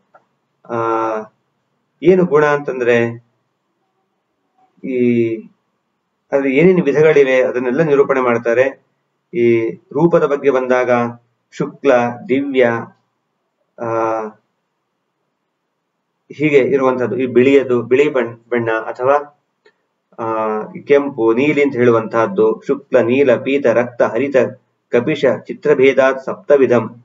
ಈ ನಾವಿ ಏಳು ಏಳು ಬಣ್ಣಗಳು ಅಂತ ಹೇಳಿದ್ರೆ ಆ ಏಳು ಬಣ್ಣಗಳನ್ನು ನಿರೂಪಣೆ ಮಾಡ್ತಾರೆ. ಆ, ನಿತ್ಯ ವರ್ಣಗಳು, ಅನಿತ್ಯ ವರ್ಣಗಳು ಅಂತ ಹೇಳಿ ಹೇಳ್ತಾರೆ. ಆ, ನಿತ್ಯಂ ಅನಿ, ಅನಿತ್ಯಂಚ. ಆಮೇಲೆ, ನಿತ್ಯ ವರ್ಣಗಳು ಯಾವುದು ಅಂತ ಈ ಏಳು ವರ್ಣಗಳು ನಿತ್ಯ ವರ್ಣಗಳು ಅಂತ ಹೇಳ್ತಾರೆ. ಹೀಗೆ, ಅದರಿಂದ ಹುಟ್ಟಿ ಬಂದಂತಹದ್ದು ಅನಿತ್ಯ ವರ್ಣಗಳು. ಅದರ ಕಾಂಬಿನೇಷನ್ಗಳಲ್ಲಿ ಹುಟ್ಟಿ ಬರುವಂತಹ ವರ್ಣಗಳು ಅನಿತ್ಯವಾದಂತಹದ್ದು ಅಂತ ಹೇಳಿ. ಮತ್ತೆ ಬೇರೆ ಬೇರೆ ತತ್ವಗಳಿಗೆ ಇರುವಂತಹ ವರ್ಣಗಳನ್ನು ಇಲ್ಲಿ ಹೇಳ್ತಾ ಬರ್ತಾರೆ. ಹೇ, ಮಹತ್ತತ್ವ ಹೇಮವದ್ ರೂಪಂ ಬಂಗಾರಂತೆ ಇರುವಂತಹ ಬಣ್ಣ ಮಹತ್ತತ್ವದ್ದು. ಆ, ಹಾಗೆ, ಆ, ಇನ್ನು ಗುಣಗಳ ಬಗ್ಗೆ ಬಂದಾಗ ಮಾಧುರ್ಯಾದಿ, ವ್ಯವಹಾರ ಹೇತುರ್ಗುಣೋ ರಸಃ. ರಸ ಅಂದ್ರೇನು ಗಂಧ ಅಂದ್ರೇನು ಸ್ಪರ್ಶ ಈ ಪಂಚ ತನ್ಮಾತ್ರಗಳ ಬಗ್ಗೆ ಬಂದಾಗ ಅದರ ಬಗ್ಗೆ ಹೇಳ್ತಾರೆ. ರಸ ಅಂತ ಹೇಳಿಬಿಡ್ತೇವೆ. ಒಂದು ಪದಾರ್ಥವನ್ನು ತಿಂತೇವೆ. ಅದರ ರಸ ನಮಗೆ ಗೊತ್ತಾಗತ್ತೆ. ಮಾಧುರ್ಯಾದಿ ವ್ಯವಹಾರ ಹೇತು ಗುಣೋ ರಸಃ. ಇದು ಮಾಧುರ್ಯ, ತುಂಬಾ ಚೆನ್ನಾಗಿದೆ, ಸಿಹಿಯಾಗಿದೆ, ಹೀಗೆಲ್ಲ ಹೇಳುವಂತಹದ್ದು ಆ ರಸ. ಸತ್ಯ ಷಡ್ವಿಧ ಆರು ವಿಧ ಇರುವಂತದ್ದು ಮಧುರ, ಆಮ್ಲ, ಲವಣ ಕಟು ಕಷಾಯ, ತಿಕ್ತ, ಹೀಗೆ. ಉಪ್ಪಿರುವಂತಹದ್ದು ಹುಳಿ ಇರುವಂತಹದ್ದು ಹೀಗೆ ಭೇದದಿಂದ ಇರುವಂತಹದ್ದು ಹೀಗೆ ಇದನ್ನು ಹೇಳಿ ಮತ್ತೆ ಗಂಧದ ಬಗ್ಗೆ ಹೇಳ್ತಾರೆ. ಈ ಸುರಭ್ಯಾದಿ ವ್ಯವಹಾರ ಹೇತುರ್ಗುಣೋ ಗಂಧ. ಒಳ್ಳೆಯ ಒಂದು ಸುರಭಿ, ಸುವಾಸನೆ ಹೀಗೆ ಇರುವಂತಹದ್ದು ತ, ದುರ್ಗಂಧವೂ ಆಗಬಹುದು, ಹೀಗೆ ಇರುವಂತಹದ್ದು ಗಂಧ, ವಾಸನೆಯ ಬಗ್ಗೆ ಇರುವಂತಹದ್ದು ಶೀತಾದಿ ವ್ಯವಹಾರ ಹೇತುರ್ಗುಣ ಸ್ಪರ್ಶ. ಇವು ನೀರು ಹಾಕೊಂಡ್ವಿ ಓ, ಚಳಿ, ಬಿಸಿ ಅಥವಾ ಯಾವುದೋ ವಸ್ತುವನ್ನು ಮುಟ್ಟಿ ತಣ್ಣಗಿದೆ, ಇದು ಬಿಸಿಯಾಗಿದೆ, ಬೆಚ್ಚಗಿದೆ ಅಂತ ಅನ್ನುವಂತಹ ಒಂದು ಅನುಭವ ಏನ್ ಬರೋದು ಸ್ಪರ್ಶ. ಹೀಗೆ ಅಲ್ಲಿ ಹೇಳಿದೆ, ಶೀತೋಷ್ಣ ಅನುಷ್ಣ ಶೀತ ಭೇದ ಹೀಗೆಲ್ಲ ಹೇಳಿ, ಮತ್ತೆ ಪರಿಮಾಣ, ಒಂದು ಅಣು ಮತ್ತೆ ಮಹತ್, ಸಣ್ಣದು, ಅತ್ಯಂತ ಸಣ್ಣದು ಮತ್ತೆ ಅತ್ಯಂತ ದೊಡ್ಡದು, ಇಲ್ಲಿಯವರೆಗೂ ಇರುವಂತಹ ಅನೇಕ ಪರಿಮಾಣಗಳ ಒಂದು ವ್ಯವಸ್ಥೆ ಇದೆ. ಯಾವುದೇ ವಸ್ತುವನ್ನು ಹೇಳಿ ತುಂಬಾ ಚಿಕ್ಕದು ಇದು ದೊಡ್ಡದು ಅಂತ ಹೇಳುವಂತಹ ಒಂದು ವ್ಯವಹಾರದಲ್ಲಿ ಬಂದಿರುವಂತಹದ್ದು. ಹೀಗೆ ಇದರ ಬಗ್ಗೆ ಹೇಳಿ, ಇನ್ನು ಸಂಯೋಗ ಅಂತಂದ್ರೆ ಏನು? ದ್ರವತ್ವ ಅಂದ್ರೆ ಏನು? ಗುರುತ್ವ ಅಂದ್ರೆ ಏನು? ಲಘುತ್ವ ಅಂದ್ರೆ ಏನು? ಅನೇಕ ವಿಧಗಳನ್ನು ಹೇಳ್ತಾರೆ. ಭಾರವಾಗಿರುವಂತಹದ್ದು, ಭಾರ ಇಲ್ಲದೆ ಇರುವಂತಹದ್ದು ಕಾಠಿನ್ಯ ಮೃದುತ್ವ, ಆಮೇಲೆ ಹೀಗೆ ಅನೇಕ ಗುಣಗಳ ನಿರೂಪಣೆಯನ್ನ ವಿಶೇಷವಾಗಿ ಮಾಡಿ. ಅದಕ್ಕೆಲ್ಲ ಒಂದು ಇದನ್ನ ಕೊಡ್ತಾರೆ. ಉದಾಹರಣೆ ಹೇಗೆ ಇರುವಂತಹದ್ದು, ಆ ಗುಣಗಳು ಹೇಗಿವೆ, ಅದಕ್ಕೆ ಉದಾಹರಣೆ ಏನು, ಇದನ್ನೆಲ್ಲ ಹೇಳ್ತಾ, ಇನ್ನು ಕೆಲವು ವಿಚಾರಗಳು. ಭೋಕ್ತು ಆರಬ್ಧಂ ಪ್ರಾರಬ್ಧಂ ಸಂಚಿತಂ ಭೋಕ್ತವ್ಯಂ ಅಪ್ರಾರಬ್ಧಂ. ಇನ್ನು ಕರ್ಮಗಳ ಬಗ್ಗೆ ಹೇಳಬೇಕಾದ್ರೆ ಅಲ್ಲಿ ಈ ಪ್ರಾರಬ್ಧ ಕರ್ಮ, ಅಪ್ರಾರಬ್ಧ ಕರ್ಮ ಅಂತ ಹೇಳಿ ಹೇಳ್ತಾರೆ. ಆ,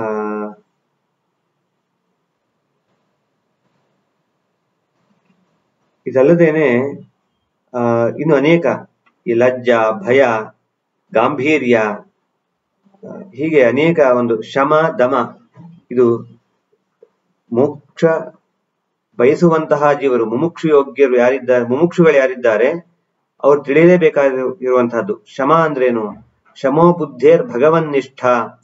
ಭಗವಂತನೇ ಸದಾ ನಿಷ್ಠ. ಶಾಂತ ಗುಣ. ಒಬ್ಬ ಮನುಷ್ಯನನ್ನ ಶಾಂತ ನೋಡಿ, ಅವರು ಶಾಂತ ಸ್ವಭಾವದವರು ಅಂತ ಹೇಳ್ತೇವೆ ಒಬ್ಬರ ಬಗ್ಗೆ.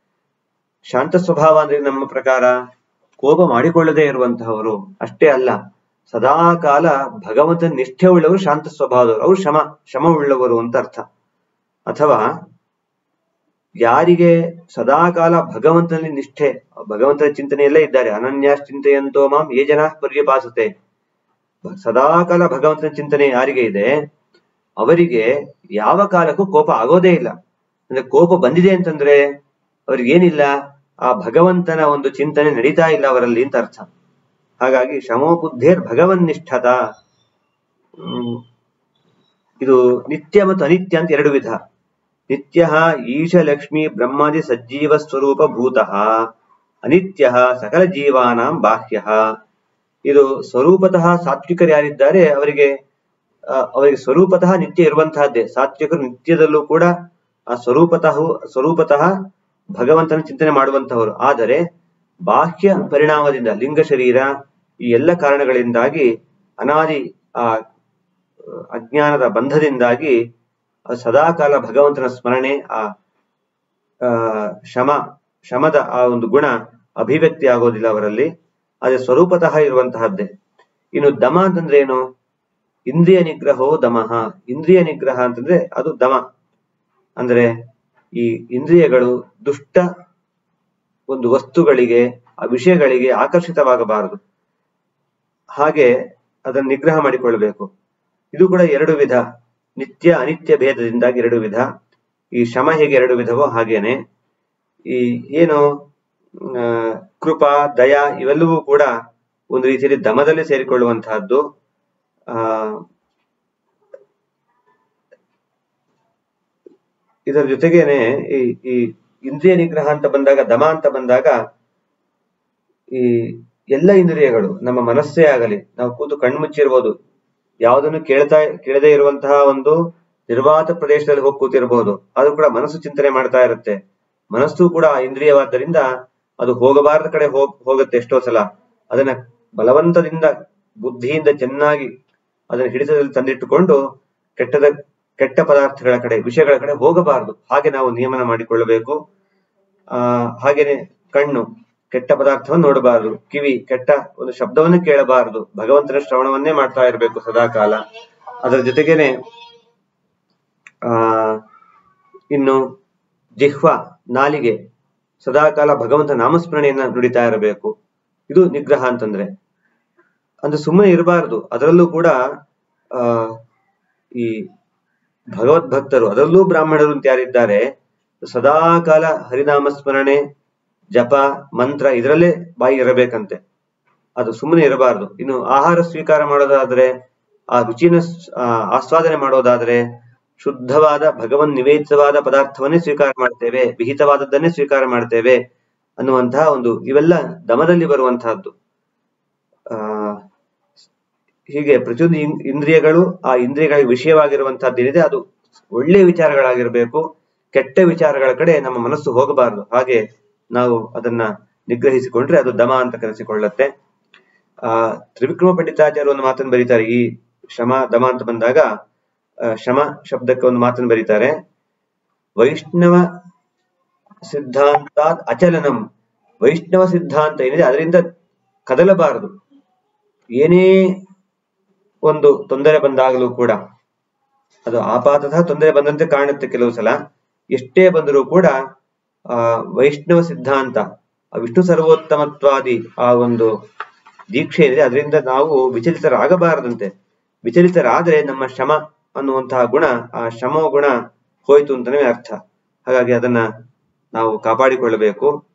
ಹಾಗೆ ಸುಖಾದಿ ದ್ವಂದ್ವ ಸಹಿಷ್ಣುತಾ ತಿತಿಕ್ಷಾ. ಸುಖ, ದುಃಖ ಏನೇ ಆಗಲಿ ಅಂತ ತಡೆದುಕೊಳ್ಬೇಕು ಲಾಭ, ಅಲಾಭ, ಲಾಭ ನಷ್ಟ ಏನೇನಾದ್ರೂ ಕೂಡ ಆ ದ್ವಂದ್ವ ಸಹಿಷ್ಣುತ ಸುಖವಾದಾಗ ಅತ್ಯಂತ ಹಿಗ್ಗೋದು. ದುಃಖವಾದಾಗ ಅತ್ಯಂತ ಕುಗ್ಗಿ ಬಿಡೋದು. ಎರಡೂ ಸಹ ಮಾಡಬಾರದು. ಹೀಗೆ ಹೇಳ್ತಾ ಇದ್ದು ಮತ್ತೆ ನಿತ್ಯ, ಅನಿತ್ಯ ಹೀಗೆ ಒಂದು ಭೇದದಿಂದ ವಿಭಾಗವನ್ನು ಮಾಡಿ ತೋರಿಸ್ತಾರೆ.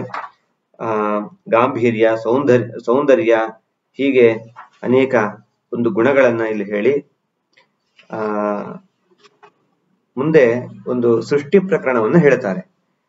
ಇದು ಮುಖ್ಯವಾಗಿ, ಆ, ಮುಮುಕ್ಷುಗಳು ಅಂತ ಯಾರಿದ್ದೇವೆ, ಎಲ್ಲರೂ ಕೂಡ ಅದನ್ನು ತಿಳಿದುಕೊಳ್ಳಬೇಕಾಗಿರುವಂತಹದ್ದು. ಸೃಷ್ಟಿ, ಸ್ಥಿತಿ, ನಿಯಮನ, ಜ್ಞಾನ, ಈ ಎಲ್ಲ ಭಗವಂತನ ವ್ಯಾಪಾರಗಳೇನಿವೆ, ಇವನ್ನ ಮುಖ್ಯವಾಗಿ ತಿಳಿದುಕೊಳ್ಳಲೇಬೇಕು. ಅದರಲ್ಲೂ ಕೂಡ ಈ ಸೃಷ್ಟಿಯನ್ನ, ಭಗವಂತ ಸೃಷ್ಟಿ ಪ್ರಕರಣವನ್ನಾಗಲಿ ಅದೇ ಕೂಡ ಅದೇ ತರ ಲಯ, ನಿಯಮನ ಎಲ್ಲವನ್ನು ಕೂಡ ಪ್ರತಿನಿತ್ಯ ಸ್ಮರಣೆ ಮಾಡಬೇಕು ಅಂತ ಹೇಳ್ತಾರೆ. ಪ್ರಾರಂಭದಲ್ಲಿ ಬೆಳಿಗ್ಗೆ ಎದ್ದಾಗ ಭಗವಂತನ ಸೃಷ್ಟಿ ಪ್ರಕರಣವನ್ನ ಚಿಂತನೆ ಮಾಡಬೇಕು. ಪುರುಷ ಸೂಕ್ತ, ಯಾರಿಗೆ ವೇದ ಮಂತ್ರ, ಪಾಠ ಆಗಿದೆಯೋ ಪುರುಷ ಸೂಕ್ತ ಕ್ರಮದಲ್ಲಿ ಇನ್ನು ಬೇರೆ ಬೇರೆ ರೀತಿಯಲ್ಲಿ ಆ ಸೃಷ್ಟಿಯ ಚಿಂತನೆಯನ್ನ ಮಾಡಬೇಕಂತೆ. ಹೇಗೆ ಭಗವಂತ ಹೇಗೆ ಸೃಷ್ಟಿ ಮಾಡಿದ ಇದನ್ನೆಲ್ಲ ಚಿಂತನೆ ಮಾಡಬೇಕು.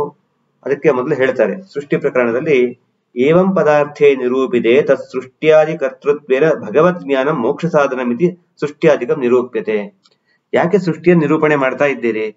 ದೇವರು ಮಾಡಿದ ಮಾಡ್ಕೊಂಡು ಹೋದ. ನಾವೀಗ ಸೃಷ್ಟರಾಗಿ ಬಂದಿದ್ದೇವೆ. ನಮ್ಮಂತೆ ಇನ್ನೂ ಅನೇಕ ಜೀವರು ಇದ್ದಾರೆ.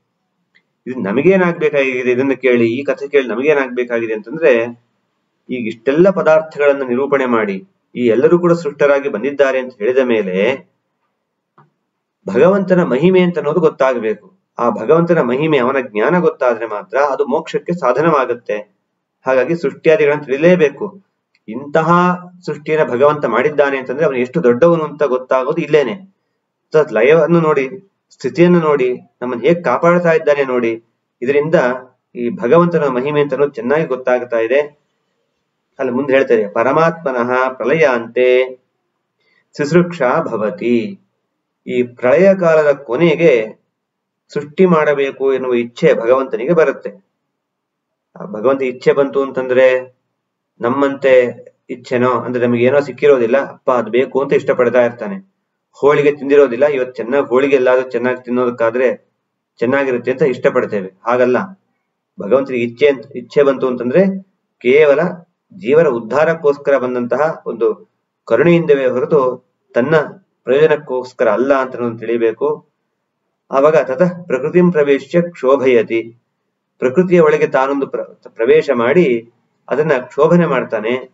ಅಲ್ಲಿ ಮೊದಲು ಹೇಳಿದ್ರಲ್ಲ, ಹೇಗೆ, ಆ, ಒಟ್ಟಾಗಿ ಸೇರಿಕೊಂಡಂತಹ ಒಂದು ಮುದ್ದೆ, ಸತ್ವ ಗುಣ ರಜಸ್ ಸತ್ವ ರಜೋ ತಮೋ ಗುಣಗಳ ಆ ಒಂದು ರಾಶಿ ಏನಿತ್ತು, ಅಲ್ಲಿ ಪ್ರವೇಶ ಮಾಡಿ ಆ ಮೂರು ಗುಣಗಳನ್ನ ಮೊದಲು ಹೇಳಿದ ಕ್ರಮದಂತೆ ವಿಭಾಗ ಮಾಡ್ತಾನೆ. ತಥೋ ಮಹದಾದ್ಯಂಡ ಪರ್ಯಂತಂ ತತ್ವಾನಿ ತತ್ ತತ್ವಾಭಿಮಾನಿ ಬ್ರಹ್ಮ ದೇವಾಂಶ್ಚ ಸೃಜತಿ. ಈ ಮಹತ್ತತ್ವ ಮೊದಲಾದ ತತ್ವಗಳಿಗೆ ಅಭಿಮಾನಿಗಳಾದಂತಹ ಈ ಬ್ರಹ್ಮಾದಿ ದೇವತೆಗಳನ್ನು ಸೃಷ್ಟಿ ಮಾಡ್ತಾನೆ. ತತಶ್ಚ ತತಃ ಚೇತನ ಅಚೇತನಾದ್ಯಂಶಾನ್ ಉದರೇ ನಿಕ್ಷಿಪ್ಯ ಬ್ರಹ್ಮಾಂಡಂ ಪ್ರವಿಶತಿ. ತಥೋ ದಿವ್ಯ ವರ್ಷ ಸಹಸ್ರಾಂತೆ ಸ್ವನಾಭೀತ ಪದ್ಮಂ ಜನಯತಿ. ದೇವಲೋಕದ ಎರಡು ವರ್ಷ ಎರ- ಎರಡು ಸಾವಿರ ವರ್ಷಗಳಾದ ಮೇಲೆ ತನ್ನ ನಾಭಿಕಮಲದಿಂದ ಪದ್ಮವನ್ನು ಸೃಷ್ಟಿ ಮಾಡ್ತಾನೆ. ಅಲ್ಲಿ ಅಲ್ಲಿ ಆ ಪದ್ಮದಲ್ಲಿ ಚತುರ್ಮುಖ ಬ್ರಹ್ಮ ಹುಟ್ಟ, ಹುಟ್ಟಿ ಬರ್ತಾ ಇದ್ದಾನೆ. ಆ ಆಗ ಏನ್ ಮಾಡ್ತಾರೆ ಜಗತ್ತಿನ ಸೃಷ್ಟಿ ಆಗಬೇಕಲ್ಲ. ಈ ಏನ್ ಮಾಡಬೇಕು ಅಂತ ಹೇಳಿ ಭಗವಂತನನ್ನ ಪ್ರಾರ್ಥನೆ ಮಾಡ್ತಾ ಇದ್ದಾರೆ ಚತು- ಚತುರ್ಮುಖ ಬ್ರಹ್ಮದೇವರು. ದಿವ್ಯ ವರ್ಷ ಸಹಸ್ರ ಪರ್ಯಂತಂ ತಪಃ ಕರೋತಿ. ದೇವಲೋಕದ ಸಾವಿರ ವರ್ಷ ಪರ್ಯಂತ ತಪಸ್ಸನ್ನ ಮಾಡ್ತಾರೆ. ಆ, ಆಗ ಭಗವಂತ ಪ್ರಸನ್ನನಾಗಿ, ಆ, ತನ್ನ ದೇಹದಿಂದ ಪಂಚಭೂತಗಳನ್ನು ಸೃಷ್ಟಿ ಮಾಡ್ತಾ ಇದ್ದಾನೆ. ಆ, ಚತುರ್ಮುಖನ ಒಳಗೆ ಪ್ರವೇಶ ಮಾಡಿಕೊಂಡು, ಆ ಬ್ರಹ್ಮ, ಚತುರ್ಮುಖ ಬ್ರಹ್ಮ ಅನ್ನುವ ಹೆಸರಿಂದನೇ ತಾನು ಕರೆಸಿಕೊಂಡು, ಆ, ಈ ಚತುರ್ದಶ ಲೋಕಗಳನ್ನ ಸೃಷ್ಟಿ ಮಾಡ್ತಾ ಇದ್ದಾನೆ. ಆಮೇಲೆ ಈ ಏನು ಮೊದಲಿಗೆ ಈ ಬ್ರಹ್ಮದೇವರು ಮಲ ದೇವತೆಗಳು ಹುಟ್ಟಿ ಬಂದರು, ಅಂದ್ರೆ ಬ್ರಹ್ಮಾಂಡ ಇನ್ನು ಸೃಷ್ಟಿ ಆಗಿಲ್ಲ, ಆ ಕಾಲಕ್ಕೆ ಹುಟ್ಟಿ ಬಂದರು, ಈಗ ಬ್ರಹ್ಮಾಂಡ ಸೃಷ್ಟಿ ಆದ ಮೇಲೆ ಆ ಬ್ರಹ್ಮಾಂಡದ ಒಳಗೆ ಇವರು ಹುಟ್ಟಿ ಬರ್ತಾರೆ. ಲಕ್ಷ್ಮಿಯಾದಿ ನಿತ್ಯಾನಾಮಪಿ ಪರಾಧೀನ ವಿಶೇಷಾವಾಪ್ತಿ ಲಕ್ಷಣೋತ್ಪತ್ತಿ ಬ್ರಹ್ಮಣ ಪ್ರತಿದ ಪ್ರತಿದಿನಂ ಭೂರ್ಭುವ ಸ್ವರ್ತಿ ಲೋಕತ್ರಯಸ ಸೃಷ್ಟಿ ವಿನಾಶೌ. ಈ ಲಕ್ಷ್ಮಿ ಕೂಡ ಭಗವಂತ ಹೇಗೆ ಹೇಗೆ ರೂಪಗಳನ್ನು ತೆಗೆದುಕೊಳ್ತಾನೋ ಲಕ್ಷ್ಮೀ ದೇವಿ ಕೂಡ ಹಾಗೆ ರೂಪಗಳನ್ನು ತೆಗೆದುಕೊಂಡು ಬರ್ತಾಳೆ. ಕೇವಲ ಭಗವಂತನ ಸೇವೆ ಮಾಡೋದಕ್ಕೋಸ್ಕರ ಮಾತ್ರ. ಈ ಬ್ರಹ್ಮದೇವರ ಒಂದೊಂದು ದಿನದಲ್ಲಿ ಸೃಷ್ಟಿ ಮತ್ತು ಲಯ ಅಂತ ಅನ್ನೋದು ಆಗ್ತಾ ಇದೆ. ಭೂಹು ಭುವಃ ಸ್ವಹ. ಭೂಹು ಅಂದ್ರೆ ಭೂಮಿ ಭುವಃ ಮೇಲ್ಲೋಕ ಸ್ವಹ. ಅದು ಸ್ವರ್ಗಲೋಕ.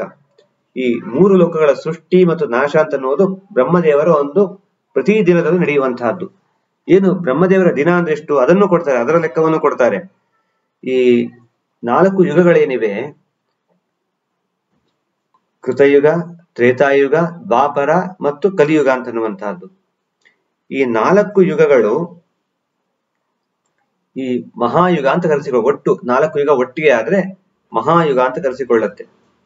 ಅದರಲ್ಲಿ ಕಲಿಯುಗ ನಾಲ್ಕು ಲಕ್ಷದ ಮೂವತ್ತೆರಡು ಸಾವಿರ ವರ್ಷ ನಮ್ಮ ಲೆಕ್ಕದಲ್ಲಿ, ಮನುಷ್ಯಮಾನದ ಲೆಕ್ಕದಲ್ಲಿ ಇವತ್ತೇನ್ ನಾವು ಲೋಕದಲ್ಲಿ ಲೆಕ್ಕ ಇಟ್ಕೊಂಡಿದ್ದೇವೆ ಒಂದು ವರ್ಷ ಅಂತಂದ್ರೆ, ಆ ಲೆಕ್ಕದಲ್ಲಿ ನಾಲ್ಕು ಲಕ್ಷದ ಮೂವತ್ತೆರಡು ಸಾವಿರ ವರ್ಷಗಳು ಕಲಿಯುಗ. ಅದರ ಎರಡು ಪಟ್ಟು ಅಂತಂದ್ರೆ, ಎಂಟು ಲಕ್ಷದ ಅರವತ್ನಾಲ್ಕು ಸಾವಿರ ವರ್ಷ ದ್ವಾಪರ ಯುಗ.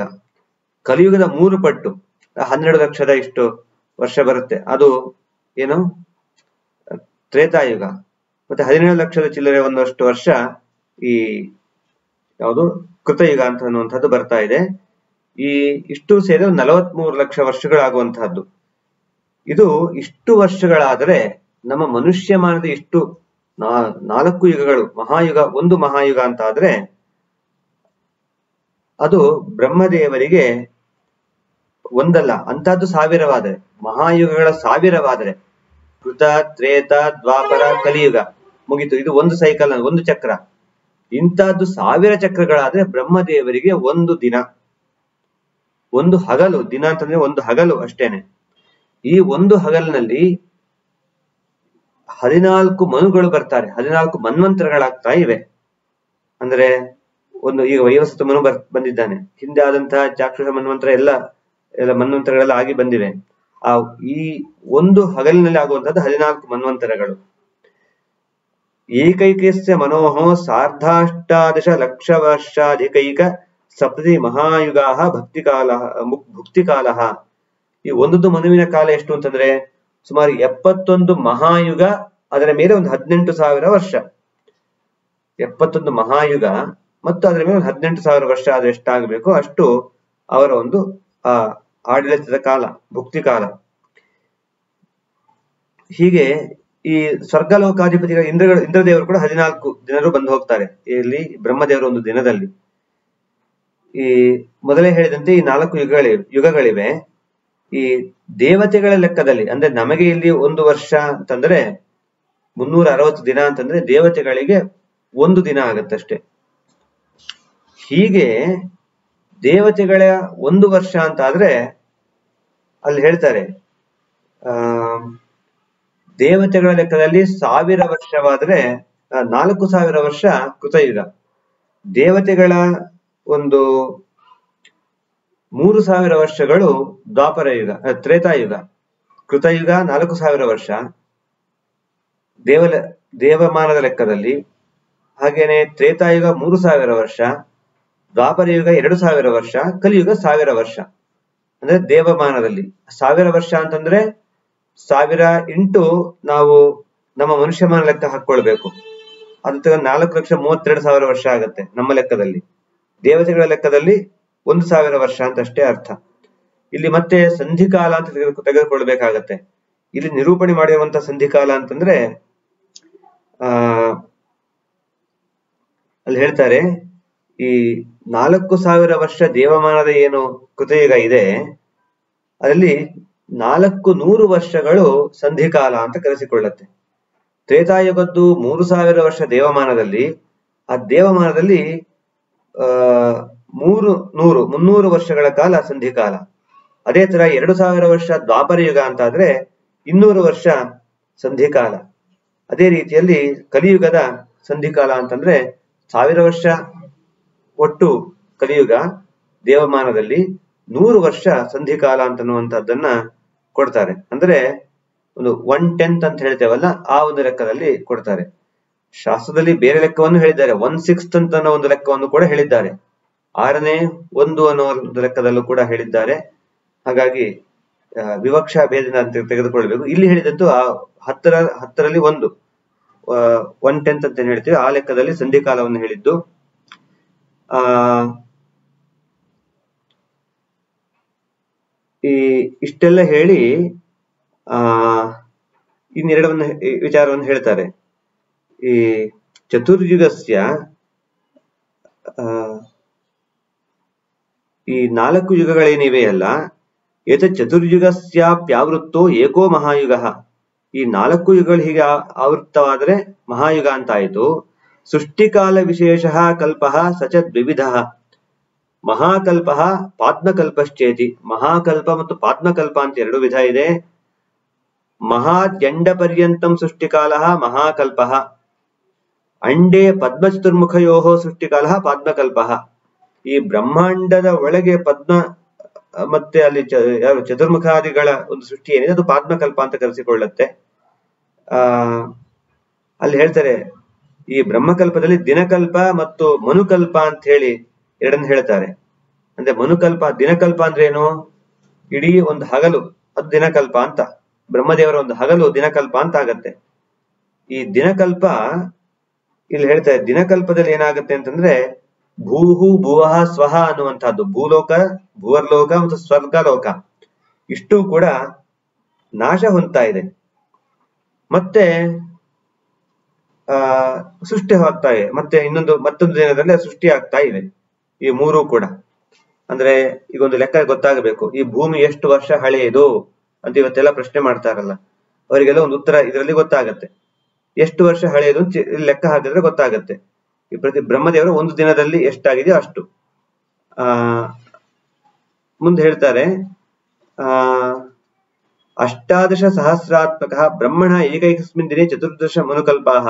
ಬ್ರಹ್ಮಣ ಪ್ರತಿದಿನ ರಾಜಸ ತಾಮಸೈಹಿ ಜನೈಹಿ ಸಾತ್ವಿಕ ಜನ, ಜನೋಪದ್ರವೇ ಸತಿ ಮತ್ಸ್ಯಕೂರ್ಮಾದ್ಯವತಾರಾಹ ಭವಿಷ್ಯಂತಿ.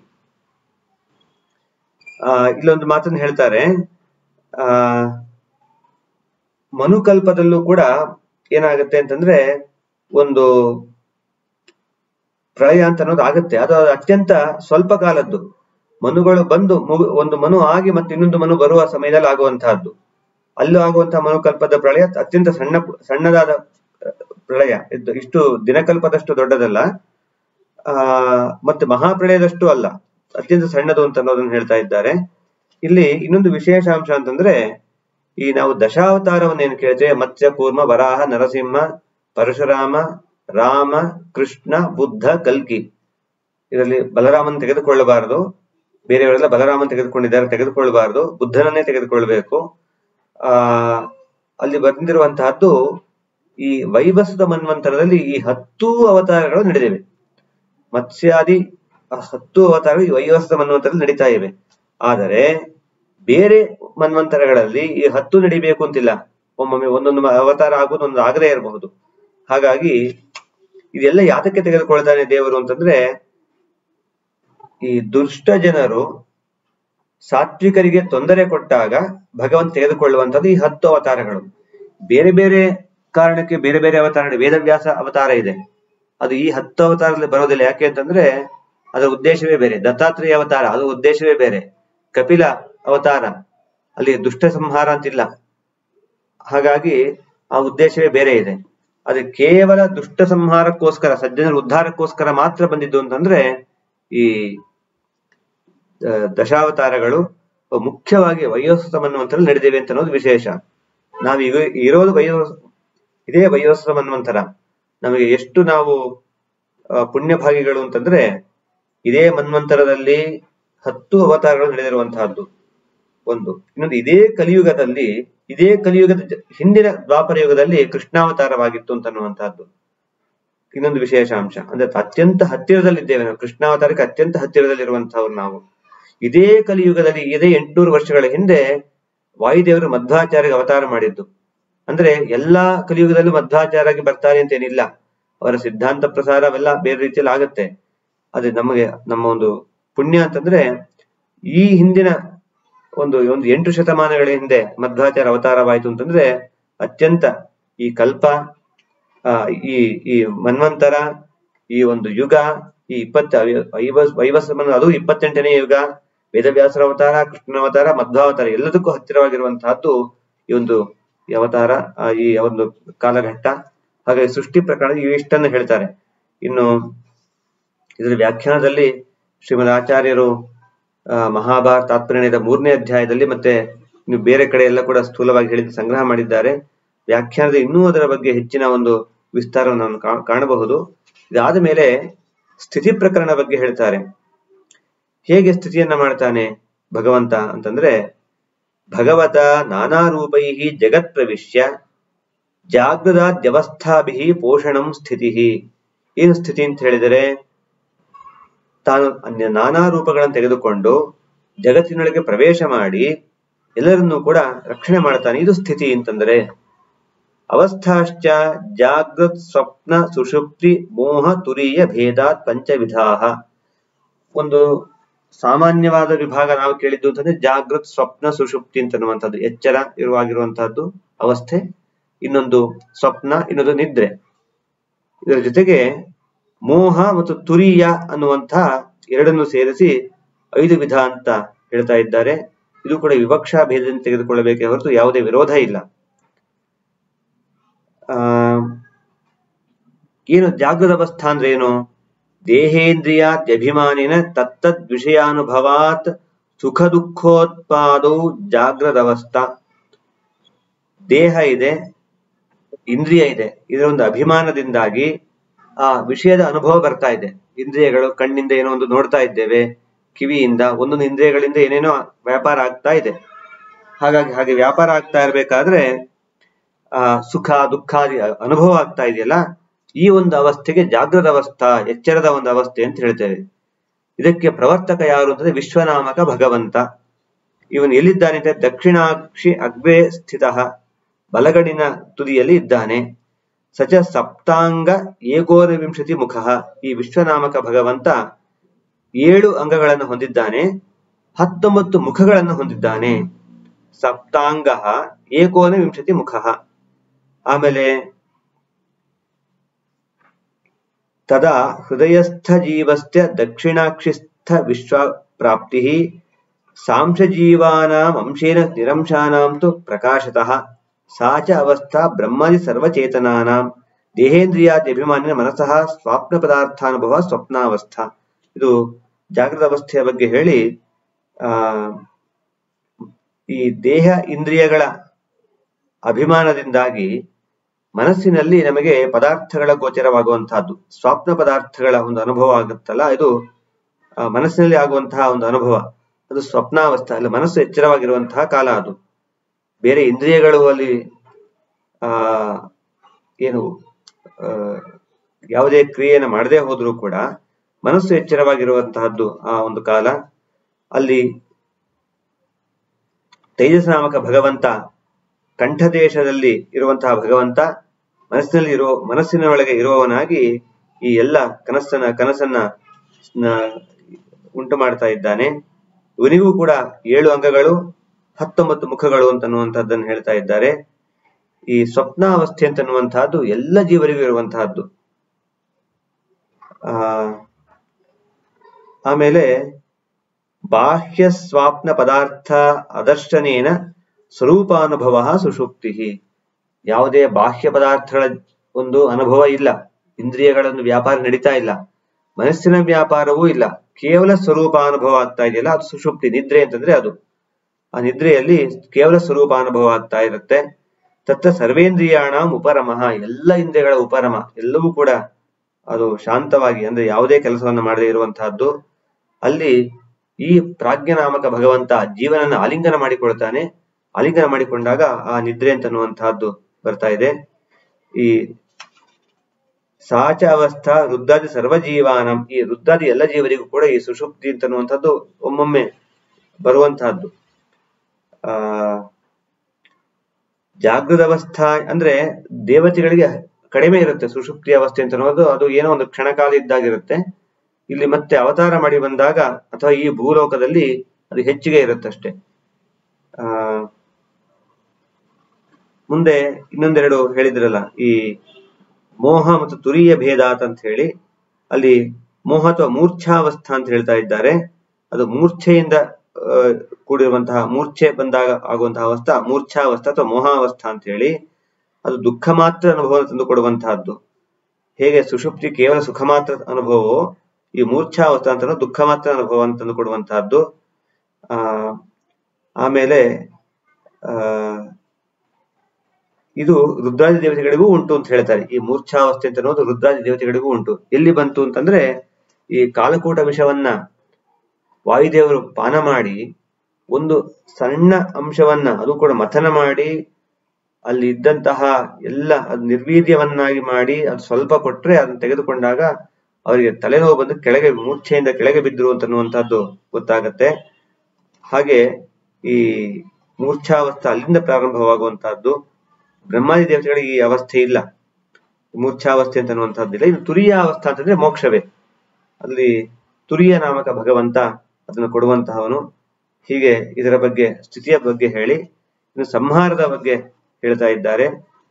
ಇನ್ನು ಸಂಹಾರಸ್ತು ಪ್ರಳಯ, ಇದು ಪ್ರಳಯ ಸಂಹಾರದ ಅದೇನೆ, ಅದು ಎರಡು ವಿಧ, ಯಾವುದು ಮಹಾಪ್ರಳಯ ಮತ್ತು ಅವಾಂತರ ಪ್ರಳಯ ಅಂತ ಹೇಳಿ. ಒಂದು ಮಹಾಪ್ರಳಯ ಅಥವಾ ಮುಖ್ಯ ಪ್ರಳಯ ಒಂದು ಅವಾಂತರ ಪ್ರಳಯ, ಅಂದ್ರೆ ಸೆಕೆಂಡರಿ ಪ್ರಳಯ ಅಂತ ಏನ್ ಹೇಳ್ಬೋದು ಅದು. ಗುಣತ್ರಯಮಾರಭ್ಯ ಬ್ರಹ್ಮಾಂಡ ಪರ್ಯಂತಸ್ಯ ತದಭಿಮಾನಿ ಬ್ರಹ್ಮಾದೀನಾಂಚ ವಿನಾಶ ಮಹಾಪ್ರಳಯ. ಈ ಗುಣತ್ರಯಗಳಿಂದ ಪ್ರಾರಂಭ ಮಾಡಿಕೊಂಡು ಬಂದು ಎಲ್ಲ ಬ್ರಹ್ಮಾದಿ ದೇವತೆಗಳ ಎಲ್ಲರ ಒಂದು ವಿನಾಶ ಅಂತಂದ್ರೆ ಅದು ಮಹಾಪ್ರಳಯ ಅಂತ ಕರೆಸಿಕೊಳ್ಳುವಂತಹದ್ದು. ಅಂದ್ರೆ ಅವರಿಗೂ ಕೂಡ ಈ ದೇಹ ನಾಶ ಅಂತ ಆಗಿ, ಆ, ಆಗುವ ಒಂದು ಅವಸ್ಥೆ ಅದು. ತದಾ ಈಶ್ವರಸ್ಯ ಸಂಜಿ, ಅಂದ್ರೆ ಈ ಅಲ್ಲಿಗೆ ಅವರ ಆ ಮಹಾಪ್ರಳಯ ಎಲ್ಲಿಗೆ ಪ್ರಾರಂಭ ಆಗುತ್ತೋ ಅಲ್ಲಿಗೆ ಅವರ ಸಾಧನೆ ಅಂತ ಅನ್ನೋದು ಮುಗಿತಾ ಇದೆ. ತದಾ ಈಶ್ವರಸ್ಯ ಸಂಜಿಹೀರ್ಷ ಭವತಿ. ಈ ಎಲ್ಲರನ್ನು ಕೂಡ ಸಂಹಾರ ಮಾಡಬೇಕು ಎಂಬ ಇಚ್ಛೆ ದೇವರಿಗೆ ಬರುತ್ತೆ. ತಯಾ ಶೇಷಾಂತರ್ಗತಸ್ಯ ಪರಮಾತ್ಮನೋ ಮುಖಾದಿ ಮುಖಾದ ಅಗ್ನಿಜ್ವಾಲ ಜಾಯತೆ. ಆ ಶೇಷನ ಒಳಗೆ ಇರುವಂತಹ ಭಗವಂತನೇ ಆ ಶೇಷದ ಒಳಗೆ ಪ್ರವೇಶ ಮಾಡಿ ತನ್ನ ಮುಖದಿಂದ ಅಗ್ನಿಜ್ವಾಲೆಯನ್ನು ಹುಟ್ಟು ಹುಟ್ಟಿಸ್ತಾ ಇದ್ದಾನೆ. ಆ, ಈ ಬ್ರಹ್ಮಾಂಡದ ಒಂದು ಭಸ್ಮ ಅದರಿಂದ ಆಗ್ತಾ ಇದೆ. ಕಾರ್ಯಾಣಾಂ ಕಾರಣೇಶು ಲಯ. ಈ ಕಾರ್ಯಗಳು ಹುಟ್ಟಿ ಬಂದಂತವು ಆ, ಪದಾರ್ಥಗಳು ತಾವು ಎಲ್ಲಿಂದ ಹುಟ್ಟಿ ಬಂದಿದ್ವೋ ಅಲ್ಲಿ ಆ ಕಾರಣಗಳಲ್ಲಿ ಲಯ ಹೊಂತಾ ಇವೆ ಆ ಅಲ್ಲಿ ಶೂನ್ಯ ನಾಮಕ ಭಗವಂತ ಈ ಏನಾಗತ್ತೆ? ಲಕ್ಷ್ಮ್ಯಾತ್ಮಕವಾದ ಮಹೋದಕ ಪ್ರಳಯೋದಕ ಬರುತ್ತೆ. ಅಲ್ಲಿ ವಟಪತ್ರದಲ್ಲಿ ಲಕ್ಷ್ಮ್ಯಾತ್ಮಕವಾದ ವಟಪತ್ರದಲ್ಲಿ ಶೂನ್ಯ ಅಂತ ನೆನೆಸಿಕೊಳ್ಳುವಂತಹ ಅತ್ಯಂತ ಸುಖಪೂರ್ಣನಾದಂತಹ ಶೂನ್ಯ ಅಂದ್ರೆ ಬೇರೆ ಏನಲ್ಲ, ಸುಖಪೂರ್ಣನಾದಂತಹ ಭಗವಂತ, ಆ, ಅಲ್ಲಿ ಮಲಗುತ್ತಾನೆ. ಆ ಎಲ್ಲ ಜೀವರು ಅವನ ದೇಹದೊಳಗೆ ಪ್ರವೇಶ ಮಾಡ್ತಾರೆ. ಅಲ್ಲಿ ಎಲ್ಲೆಲ್ಲಿ ಪ್ರವೇಶ ಮಾಡ್ತಾರೆ ಅಂತ ಕೂಡ ಶಾಸ್ತ್ರದಲ್ಲಿ ಹೇಳಿದ್ದಾರೆ. ದೇವರ ಉದರದ ಯಾವ್ಯಾವ ಭಾಗದಲ್ಲಿ ಯಾರ್ಯಾರು ಇರ್ತಾರೆ? ಮುಕ್ತರೆಲ್ಲಿರ್ತಾರೆ, ಅಮುಕ್ತರೆಲ್ಲಿರ್ತಾರೆ, ದೈತ್ಯರೆಲ್ಲಿರ್ತಾರೆ. ಅಹ್ ಮುಂದೆ ಸೃಷ್ಟಿಗೆ ಬರುವಂತಹವರೆಲ್ಲಿರ್ತಾರೆ ಎಲ್ಲ ಅದರ ಬಗ್ಗೆ ಹೇಳ್ತಾರೆ. ಆ, ಆಮೇಲೆ ಈ ನರಕಗಳ ನಾಶ ಆಗತ್ತೆ. ಈ ಎಲ್ಲ ಲೋಕಗಳ ನಾಶವಾಗ್ತಾ ಇದೆ ಅಂತಂದ್ರೆ ನರಕಾದಿ ಎಲ್ಲ ನಾಶ ನರಕಗಳೆಲ್ಲ ನಾಶವಾಗತ್ತೆ. ಆ, ಕಾಲ ಮಾತ್ರವಾಗಿರುವಂತಹದ್ದು, ಈ ಎಲ್ಲ ಈ ಲೋಕಗಳು ನಾಶವಾದರೂ ಕೂಡ ಕಾಲ ಮಾತ್ರ ಇರುವಂತಹದ್ದು. ಆ, ಹೀಗೆ ಇದು ಮಹಾಪ್ರಳಯ ಆಗತ್ತೆ. ಇನ್ನು ದೈನಂದಿನ ಪ್ರಳಯ ಮನುಪ್ರಳಯ ಅಂತ ಎರಡು ಹಿಂದೆ ಹೇಳಿದ್ರು, ಅದರ ಬಗ್ಗೆ ಸೃಷ್ಟಿಯ ಬಗ್ಗೆ ಹೇಳಬೇಕಾದ್ರೆ ದೈನಂದಿನ ಪ್ರಳಯ ಅಂತಂದಾಗ ಭೂಹು ಭುವಹ ಸ್ವ ಅಂದ್ರೆ ಬ್ರಹ್ಮದೇವರ ಒಂದು ದಿನದ ಕೊನೆಗೆ ಆಗುವಂತಹದ್ದು. ಆಗ ಆಗುವಂತಹ ಪ್ರಳಯ, ಅಂದ್ರೆ ಆ ರಾತ್ರಿ ಕಾಲದಲ್ಲಿ ಆಗುವಂತಹ ಪ್ರಳಯ ಅಂತ ಏನಿದೆ ಅದು ದೈನಂದಿನ ಪ್ರಳಯ. ಆಮೇಲೆ, ಅಂದ್ರೆ ಬ್ರಹ್ಮದೇವರ ರಾತ್ರಿ ಬಂತು ಅಂತಂದ್ರೆ ಲಯ ಆಗುತ್ತೆ. ಬ್ರಹ್ಮದೇವರ ಹಗಲು ಬಂತು ಅಂದ್ರೆ ಸೃಷ್ಟಿ ಆಗುತ್ತೆ. ಈ ರೀತಿ ಆಗುವಂತಹದ್ದು. ಈ ಇಲ್ಲಿ ವಿಶೇಷ ಅಂದ್ರೆ ಭೂಹು ಭುವಃ ಸ್ವಹ ಮೊದಲೇ ಹೇಳಿದಂತೆ ಆ ನಾಶ ಆಗುತ್ತೆ.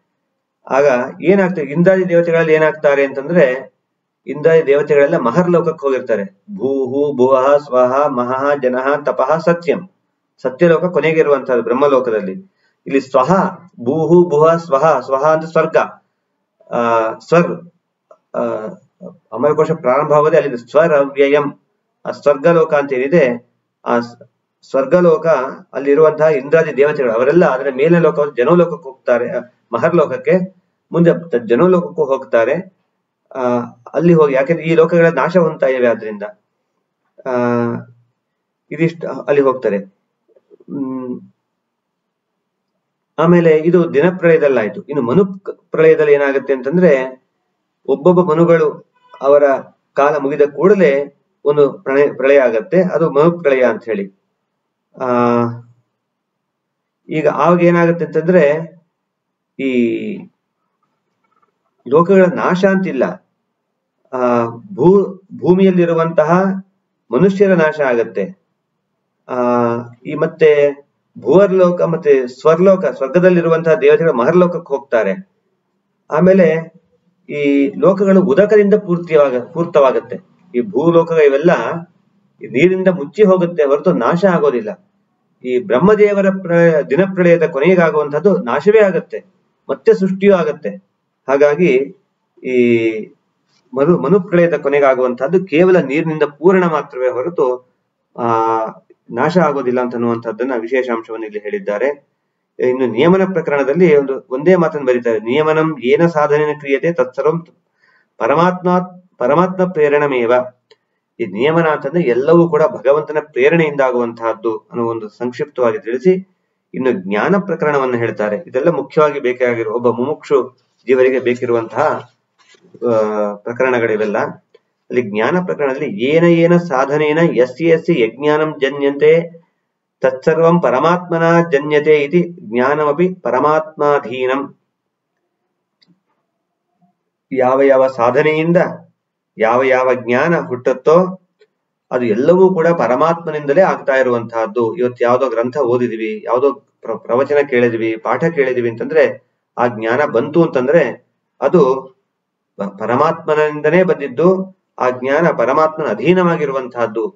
ಈ ಜೀವನಿಗೆ ಯಾವ ಕಾಲಕ್ಕೆ ಯಾವ ಜ್ಞಾನ ಉಂಟು ಮಾಡಬೇಕು ಅಂತ ಅನ್ನುವಂಥದ್ದು ಪರಮಾತ್ಮನ ಅಧೀನವಾಗಿರುವಂತಹದ್ದು. ಇದು ಮೊದ್- ಮೊದಲು ತಿಳಿದುಕೊಳ್ಳಬೇಕು. ಹಾಗಾಗಿ ಇದು ಗೊತ್ತಾದ ಮೇಲೆ ಏನ್ ಮಾಡಬೇಕು? ಭಗವಂತನಲ್ಲಿಗೆ ನಾವು ಶರಣ, ಅವನನ್ನೇ ಶರಣ ಹೊಂದಬೇಕು. ನೀನು ನಮಗೆ ಆ ಜ್ಞಾನವನ್ನು ಕೊಡು ಅಂತ ಹೇಳಿ ಪ್ರಾರ್ಥನೆ ಮಾಡಿ ಅವನ ನಿನ್ನ ಅಧೀನವೇ ಆಗಿರೋದ್ರಿಂದ ನೀನು ಅದನ್ನು ಕೊಡಬೇಕು. ನಾವಾಗಿ ತೆಗೆದುಕೊಳ್ಳೋದು ಬರೋದಿಲ್ಲ. ಇವತ್ತೊಂದು ಪುಸ್ತಕ ಇದೆ ಅಂತಂದ ತಕ್ಷಣ ಆ ಜ್ಞಾನ ಬರಬೇಕು ಅಂತಿಲ್ಲ. ಅಥವಾ ಪಾಠ ಕೇಳಿದೀವಿ ಅಂತಂದ್ರೆ ಜ್ಞಾನ ಬರಬೇಕು ಅಂತಿಲ್ಲ. ಯಾಕೆಂದ್ರೆ ಮನಸ್ಸು ಎಲ್ಲೋ ಹೋಗ್ಬೋದು. ಅಥವಾ ಆ ಕಾಲಕ್ಕೆ ಗೊತ್ತಾದ ತಕ್ಷಣ ಮರೆತು ಹೋಗ್ಬೋದು. ಅದು ದೃಢವಾಗಿ ಆ ಒಂದು ವಿದ್ಯೆ ಬಂತು ಅಂತ ಹೇಳೋದಕ್ಕೆ ಸಾಧ್ಯವಿಲ್ಲ. ಇವೆಲ್ಲವೂ ಕೂಡ ಪರಮಾತ್ಮನ ಅಧೀನ. ಮತ್ತೆ ಈ ಜ್ಞಾನದಲ್ಲೂ ಕೂಡ ಎರಡು ವಿಧವನ್ನು ಹೇಳ್ತಾರೆ. ಮುಖ್ಯವಾಗಿ ತಿಳಿದುಕೊಳ್ಳಬೇಕಾದದ್ದು, ಸಂಸಾರ ಹೇತು ಮೋಕ್ಷ ಹೇತುಶ್ಚ.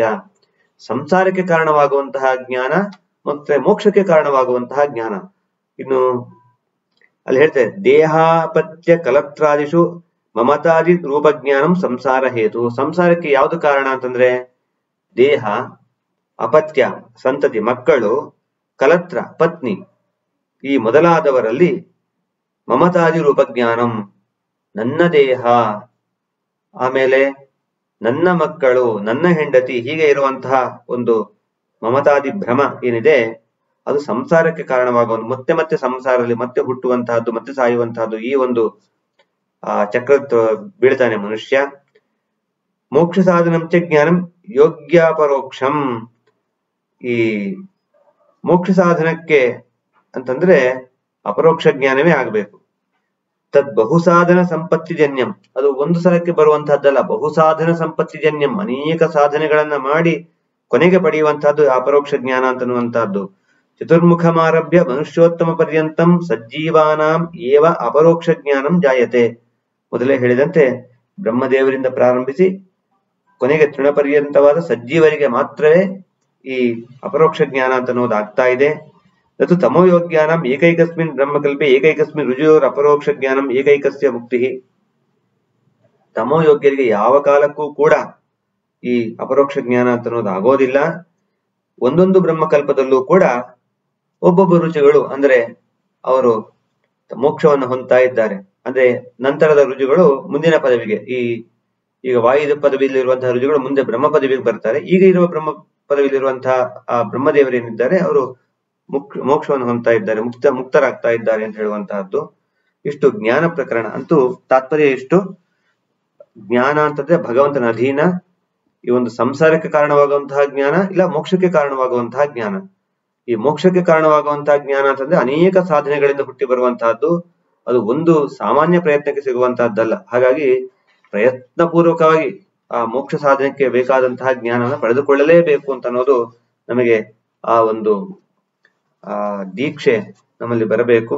ಮುಂದೆ ಸಾಧನ ಪ್ರಕರಣದಲ್ಲಿ ಹೇಳ್ತಾರೆ, ಏವಂ ರುದ್ರಾದಿ ಪದಯೋಗ್ಯಾನಾಮಿ ಮೋಕ್ಷ ಸಾಧನೀಭೂತ ಅಪರೋಕ್ಷ ಜ್ಞಾನ ಸಾಧನಾನಿ ಚ ವಿವಿಧ ಸಾಂಸಾರಿಕ ದುಃಖ ದರ್ಶನೇನ ಸಜ್ಜನ ಸಂಗತ್ಯಾಚ ಇಹಾಮುತ್ರ ಫಲಭೋಗ ವಿರಾಗ ಶಮದಮಾದಿ ಸಂಪತ್ತಿ ಅಧ್ಯಯನ ಸಂಪತ್ತಿ ಶರಣಾಗತಿ ಗುರುಕುಲವಾಸ ತದುಪದೇಶೇನ ಸಚ್ಚಾಸ್ತ್ರಾದಿ ಜ್ಞಾನರೂಪಂ ಶ್ರವಣಂ ಶ್ರುತಸ್ಯ ತತ್ವಸ್ಯ ದೃಢೀಕರಣಾಯ ಮೀಮಾಂಸಾ ಪರಪರ್ಯಾಯೋ ವಿಚಾರೋ ಮನನಂ ಗುರುಭಕ್ತಿರ್ ಯಥಾಯೋಗ್ಯಂ ಪರಮಾತ್ಮ ಭಕ್ತಿ ಹೀಗೆಲ್ಲ ಹೇಳ್ತಾ ಹೋಗ್ತಾರೆ. ಅತ್ಯಂತ ಮುಖ್ಯವಾದ ಒಂದು ವಿಚಾರ ಇದು. ಯಾವುದನ್ನು ನಾವು ಬಿಡೋ ಹಾಗಿಲ್ಲ ಇದರಲ್ಲಿ. ಅಷ್ಟು ಚೆನ್ನಾಗಿ ಇಲ್ಲಿ ಹೇಳಿದ್ದಾರೆ. ಮೊದಲಿಗೆ ವಿವಿಧ ಸಂಸಾರದ ಈ ಸಾಂಸಾರಿಕ ದುಃಖಗಳನ್ನ ನಾವು ನೋಡಬೇಕು. ನಮಗಾಗಿದ್ರು ಮಾತ್ರ ಅಲ್ಲ, ಇನ್ನೊಬ್ರಿಗಾಗಿದ್ದನ್ನು ನಾವು ನೋಡಬೇಕು. ಓ ಅವರಿಗಾದಂತೆ ನನಗೂ ಆಗತ್ತೆ ಅಥವಾ ಆಗಬಹುದು ಅಂತ ತಿಳಿದುಕೊಂಡು, ಆ, ಸಜ್ಜನರ ಒಂದು ಸಂ, ಸಂಘವನ್ನ ಮಾಡಬೇಕು. ಮತ್ತೆ ಇಲ್ಲಿಯೂ ಅಥವಾ ಅಲ್ಲಿಯೂ ಎಲ್ಲೇ ಆಗಲಿ, ಅಂದ್ರೆ ಇಹದಲ್ಲಾಗಲಿ, ಪರದಲ್ಲಾಗಲಿ, ಒಂದು ಭೋಗದ ಒಂದು ಆಸೆ ಇರಬಾರದು. ಮತ್ತೆ ಶಮದಮಾದಿ ಸಂಪತ್ತನ್ನು ತಂದುಕೊಳ್ಳಬೇಕು. ಸದಾ ಭಗವಂತನಲ್ಲೇ ಮನಸ್ಸಾಕಿರೋದು ಇಂದ್ರಿಯಗಳನ್ನ ಕೆಟ್ಟದರ ಕಡೆ ಹೋಗಲಿಕ್ಕೆ ಬಿಡಲೇಬಾರದು. ಅದು ಕುದುರೆಗಳು ಹಾಗೆ ಎಳ್ಕೊಂಡು ಹೋಗ್ತಾ ಇರುತ್ತೆ. ಚೆನ್ನಾಗಿ ಅದನ್ನ, ಆ, ಇಂದ್ರಿಯಗಳೆಲ್ಲ ಹಾಗೆ ಒಂದೊಂದು ದಿಕ್ಕಿಗೆ ಎಳೆದುಕೊಂಡು ಹೋಗ್ತಾ ಇರುತ್ತೆ. ಅದನ್ನೆಲ್ಲ ಸರಿಯಾಗಿ ನಿಯಂತ್ರಣ ಮಾಡಿಕೊಳ್ಳಬೇಕು.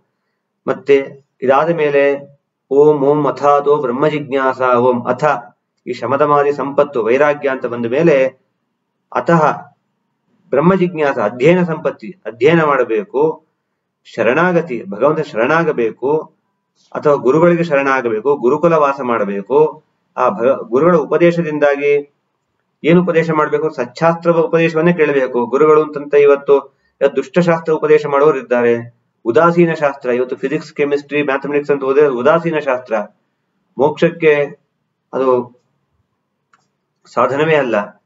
ಇನ್ನು ಬೇರೆ ದುಷ್ಟಶಾಸ್ತ್ರಗಳಿವೆ. ಅದೂ ಸಾಧನವಲ್ಲ. ಕೇವಲ ಸಚ್ಚಾಸ್ತ್ರ ಜ್ಞಾನ ಮಾತ್ರ ಪಡಿಬೇಕು. ಅದು ಶ್ರವಣ ಆಗಬೇಕು. ಆ ಕೇಳಿದ್ದಷ್ಟಕ್ಕೆ ನಿಲ್ಲಬಾರದು. ಮತ್ತೆ ಮನನ ಮಾಡಲೇಬೇಕು.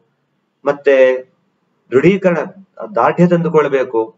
ಅದಕ್ಕೋಸ್ಕರ ಚೆನ್ನಾಗಿ ವಿಚಾರ ಮಾಡಬೇಕು. ಬ್ರಹ್ಮ ಜಿಜ್ಞಾಸ ಜಿಜ್ಞಾಸ ಅಂದ್ರೆ ಅದೇನೆ.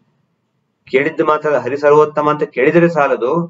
ಹರಿಸರ್ವೋತ್ತಮ ಅಂತ ಅನ್ನೋದನ್ನ ಮನನ ಮಾಡಿ, ಚೆನ್ನಾಗಿ ಜಿಜ್ಞಾಸೆ ಮಾಡಿ, ಅದನ್ನ ದೃಢ ಮಾಡಿಕೊಳ್ಳಬೇಕು. ಆಗ ಮಾಡಿ ಅಂತಹ ಒಂದು ಜ್ಞಾನಕ್ಕೆ ಮಾತ್ರ ಭಗವಂತ ಒಲಿತಾನಾಗಲಿ ಜಿಜ್ಞಾಸೋತ್ಥ ಜ್ಞಾನಜ ತತ್ಪ್ರಸಾದಾದೇವ ಮುಚ್ಚತೆ ಜಿಜ್ಞಾಸೆಯಿಂದ ಉಂಟಾದಂತಹ ಜ್ಞಾನ. ಅದರಿಂದ ಭಗವಂತನ ಪ್ರಸಾದ, ಅದರಿಂದ ಮೋಕ್ಷ ಅಂತ ಆಗ್ತಾ ಇದೆ. ಕೇವಲ ಜಿಜ್ಞಾಸೆ ಮಾಡಲಿಲ್ಲ ಸುಮ್ಮನೆ ಆ ಬೈಹಾಟ್ ಮಾಡಿದಾಗ ಎಲ್ಲ ತತ್ವಗಳನ್ನು ತಿಳಿದುಕೊಂಡ ಹರಿ ಸರ್ವೋತ್ತಮ ಪಂಚಭೇದ. ಶ್ರೀಮನ್ ಮಧ್ವಮತೆ ಹರಿಪರತರಃ ಸತ್ಯಂ ಜಗತ್ತತ್ವತೋ ಭೇದೋ ಹರೇರ ಹರೇರನುಚರಾಃ ನಿಜೋಚ್ಚ ಮುಕ್ತಿರ್ ನೈಜ ಸುಖಾನುಭೂತಿ. ಅಮಲಾ ಭಕ್ತಿಷು ತತ್ಸಾಧನಂ. ಯಕ್ಷಾದಿ ತೃತೀಯಂ ಪ್ರಮಾಣಂ ಅಖಿಲಾಂ ನಾಯಕ ವೇದ್ಯೋ ಹರಿಹಿ. ಇನ್ನು ವ್ಯಾಸರಾಜರು ಈ ನಿರೂಪಣೆ ಮಾಡಿದಂತಹ ಒಂದು ಈ ಏಕಶ್ಲೋಕಿ ಈ ಪ್ರಮೇಯ ನವಮಾಲಿಕ ಅಂತಿದೆ. ಈ ತತ್ವಗಳನ್ನೆಲ್ಲ ಕೇಳಿ ಇದರ ಜೊತೆಗೆ ಇನ್ನೂ ಕೆಲವು ತತ್ವಗಳನ್ನ ಕೇಳಿಕೊಂಡು ಇಷ್ಟಕ್ಕೆ ನಾವು ನಿಂತು ಬಿಟ್ರೆ ಅದರಿಂದ ಮೋಕ್ಷ ಆಗೋದಿಲ್ಲ. ಸರಿ ಸರ್ವೋತ್ತಮ ಅಂತ ಕೇಳಿದ್ರೆ ಮೋಕ್ಷ ಆಗೋದಿಲ್ಲ. ನಾವು ಅದರ ದಾರ್ಢ್ಯವನ್ನ ಮಾಡಿಕೊಳ್ಳಬೇಕು, ಚೆನ್ನಾಗಿ ಗಟ್ಟಿ ಮಾಡ್ಕೊಳ್ಬೇಕು ಅದಕ್ಕೆ ಗಟ್ಟಿ ಮಾಡ್ಕೊಳ್ಬೇಕು ಅಂತಂದ್ರೆ ಜಿಜ್ಞಾಸೆ ಮಾಡಬೇಕು. ಅದೇ ರೀತಿ ಜಗತ್ತು ಸುಳ್ಳಲ್ಲ, ಸತ್ಯವೇ ಆಗಿದೆ, ಜಿಜ್ಞಾಸೆ ಮಾಡಬೇಕು. ಅದಕ್ಕೋಸ್ಕರ ಬೇರೆಯವರ ಶಾಸ್ತ್ರವನ್ನು ನೋಡ್ಬೇಕು.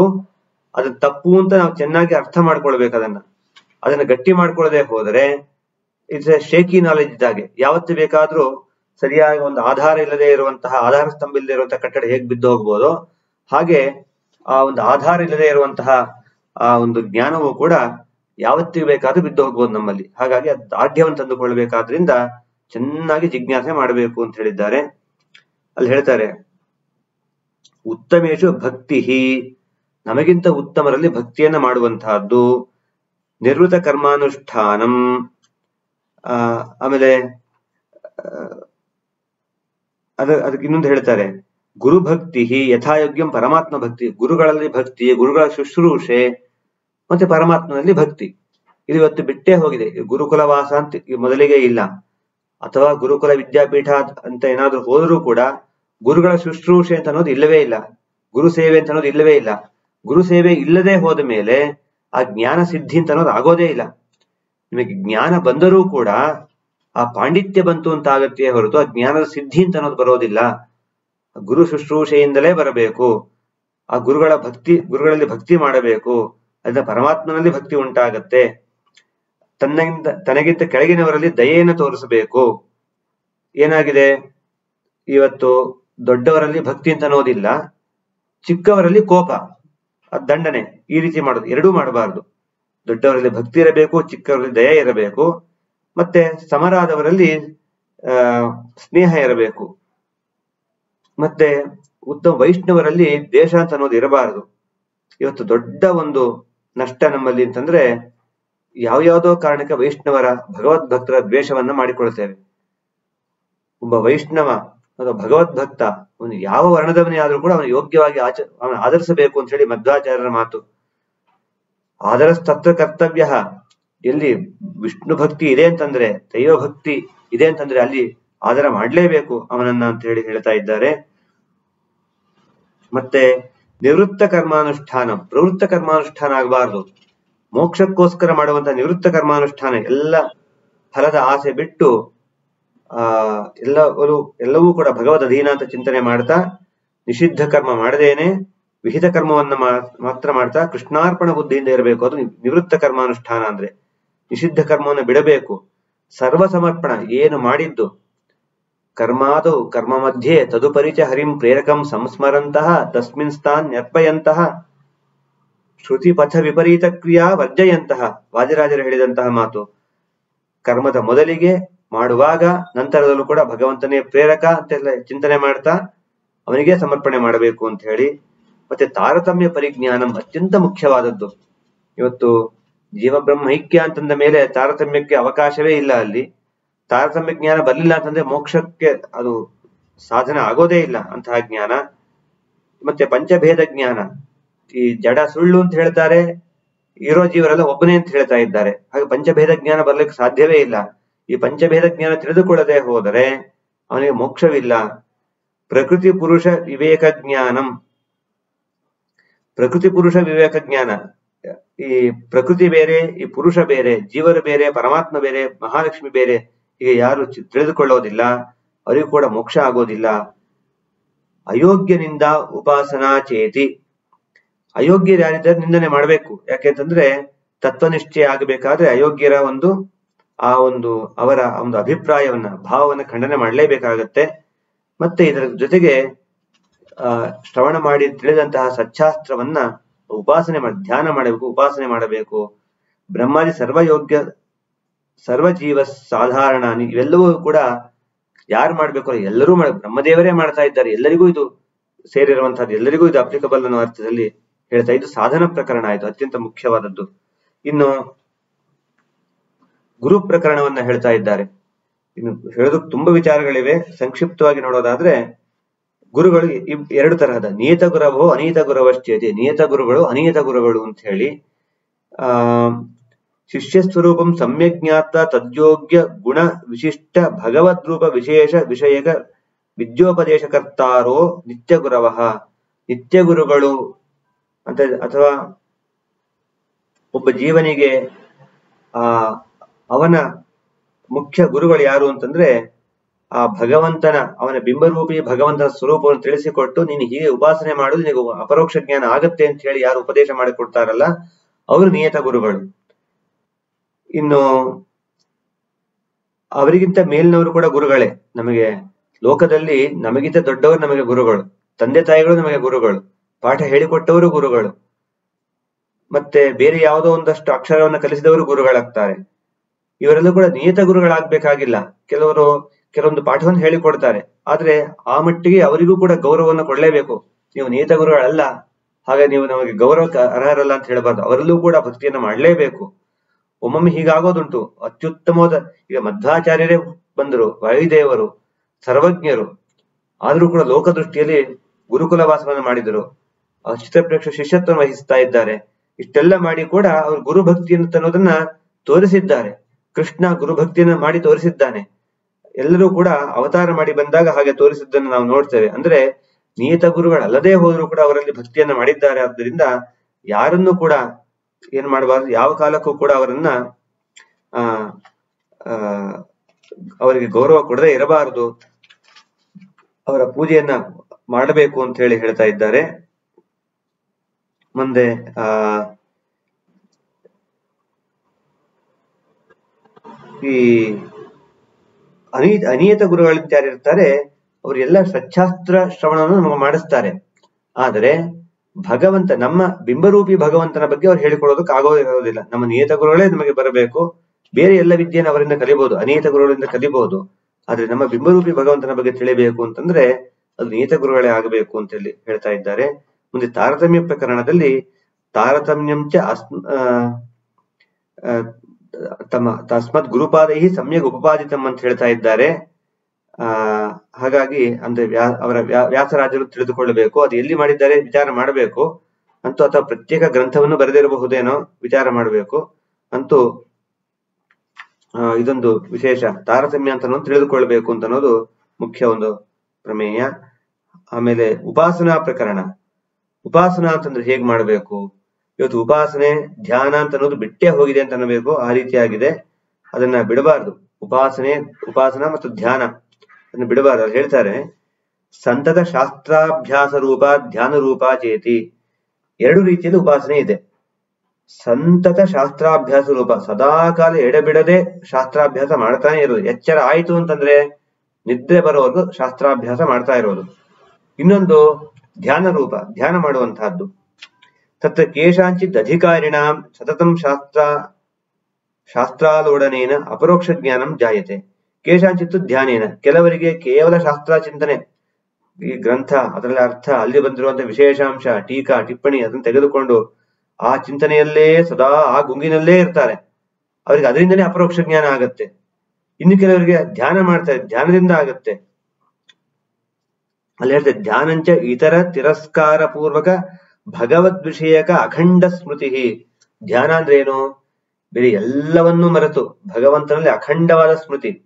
ಅಂದ್ರೆ ಸ್ವಲ್ಪವೂ ಕೂಡ ಮಧ್ಯೆ ಅಡೆತಡೆ ಇರಬಾರದು, ಅಂತಹ ಒಂದು ಧ್ಯಾನ ಮಾಡಬೇಕು. ಅದು ಹಾಗೆ ಮಾಡಿದ್ರೆ ಧ್ಯಾನ ಅಂತ ಕರೆಸಿಕೊಳ್ಳುತ್ತೆ. ಭಗವಂತನ ಅಖಂಡ ಸ್ಮರಣೆ ಅಂತ ಏನಿದೆ, ಅದು ಧ್ಯಾನ ಅಂತ ಕರೆಸಿಕೊಳ್ಳುತ್ತೆ. ಸುಮ್ಮನೆ ನಾವು ಕಣ್ಣು ಮುಚ್ಚಿ ಕೂತ್ವಿ, ಒಂದು ಗಂಟೆ ಹೊತ್ತು ಕೂತ್ ಕೂಡ ಧ್ಯಾನ ಅಂತ ಅಂತ ಕರೆಸಿಕೊಳ್ಳೋದಿಲ್ಲ. ತದೇವ ನಿಧಿಧ್ಯಾಸನಂ ತಚ್ಚ ಶ್ರವಣ ಮನನಾಭ್ಯಾಂ. ಇದೇ ನಿಧಿಧ್ಯಾಸನ ಅಂತಂದ್ರೆ ಇದೇನೆ. ಶ್ರವಣ ಮನನ ನಿಧಿಧ್ಯಾಸನ ಅಂತಂದೇವಲ್ಲ ಈ ನಿಧ, ನಿಧಿಧ್ಯಾಸನ ಅಂತಂದ್ರೆ ಇದೇನೆ. ಆ, ಇದು ಎಲ್ಲಿಂದ ಬರುತ್ತೆ? ಶ್ರವಣ ಮನನ ಮಾಡಿದ್ರೆ ಮಾತ್ರ ಬರುತ್ತೆ.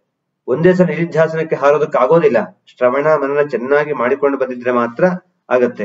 ಅಜ್ಞಾನ, ಸಂಶಯ, ಮಿಥ್ಯಾಜ್ಞಾನ, ನಿರಾಸೇನ ಇದಮಿತ್ತಮಿತಿ ನಿಶ್ಚಯೋ ಭವತಿ.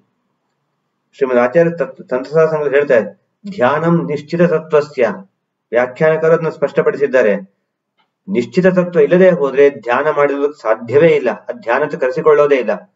ಇವತ್ತು ಅನೇಕರು ಅನೇಕ ಏನ್ ಹೇಳ್ತಾರೆ? ನಿರ್ಗುಣ, ನಿರಾಕಾರ ಅಂತ ಭಗವಂತನಲ್ಲಿ ಹೇಳ್ತಾ, ಆ ಧ್ಯಾನದ ಕ್ಲಾಸ್ ಅಂತ ಕರೀತಾರೆ ಇವತ್ತು. ಮೆಡಿಟೇಷನ್ ಅಂತ ಕೋರ್ಸ್ ಅಂತೆಲ್ಲ ಮಾಡ್ತಾರೆ, ಕೂಡಿಸ್ತಾರೆ. ಏನು ಚಿಂತನೆ ಮಾಡಬೇಡಿ. ಎಲ್ಲ ಶೂನ್ಯ ಅಂತ ಚಿಂತನೆ ಮಾಡಿ, ಏನೋ ಎಂಟಿ ಸ್ಪೇಸ್ ಅಂತ ಚಿಂತನೆ ಮಾಡಿ, ನೀವು ಅಲ್ಲೇನೋ ಒಂದು ಬೆಳಕನ್ನು ನೋಡ್ಕೊಳ್ಳಿ. ಹೀಗೆ ಏನೇನೋ ಹೇಳ್ತಾರೆ. ಅದೆಲ್ಲ ಯಾವುದೂ ಅಲ್ಲ. ಅಲ್ಲಿ ಹೇಳ್ತಾರೆ, ಅಜ್ಞಾನ, ಸಂಶಯ ಮಿಥ್ಯಾಜ್ಞಾನ ನಿರಾಸೇನ ಇದಮಿತ್ತ ನಿಶ್ಚಯ ಭವತಿ. ಧ್ಯಾನ ಮಾಡಬೇಕಾದ್ರೆ ಅಜ್ಞಾನ ಇರಬಾರ್ದು. ಸಂಶಯ ಇರಬಾರ್ದು. ಭಗವಂತ ಸರ್ವೋತ್ತಮನೋ ಅಲ್ವೋ ಅಥವಾ ವಿಷ್ಣುವೋ ರುದ್ರನೋ ಹೀಗಿರೋ ಸಂಶಯ ಬರಬಾರದು. ಮಿಥ್ಯಾಜ್ಞಾನವೂ ಬರಬಾರದು. ಇವೆಲ್ಲವನ್ನೂ ಕೂಡ ನಾವು ಖಂಡನೆ ಮಾಡಿಕೊಂಡಿರಬೇಕು ನಮ್ಮಲ್ಲೇನೆ. ಇಷ್ಟೆಲ್ಲ ಮಾಡಿಕೊಂಡು, ನಿಶ್ಚಯ ಮಾಡಿಕೊಂಡ ಮೇಲೆ ನಾವು ಧ್ಯಾನ ಮಾಡಬೇಕು ಬರುತ್ತೆ.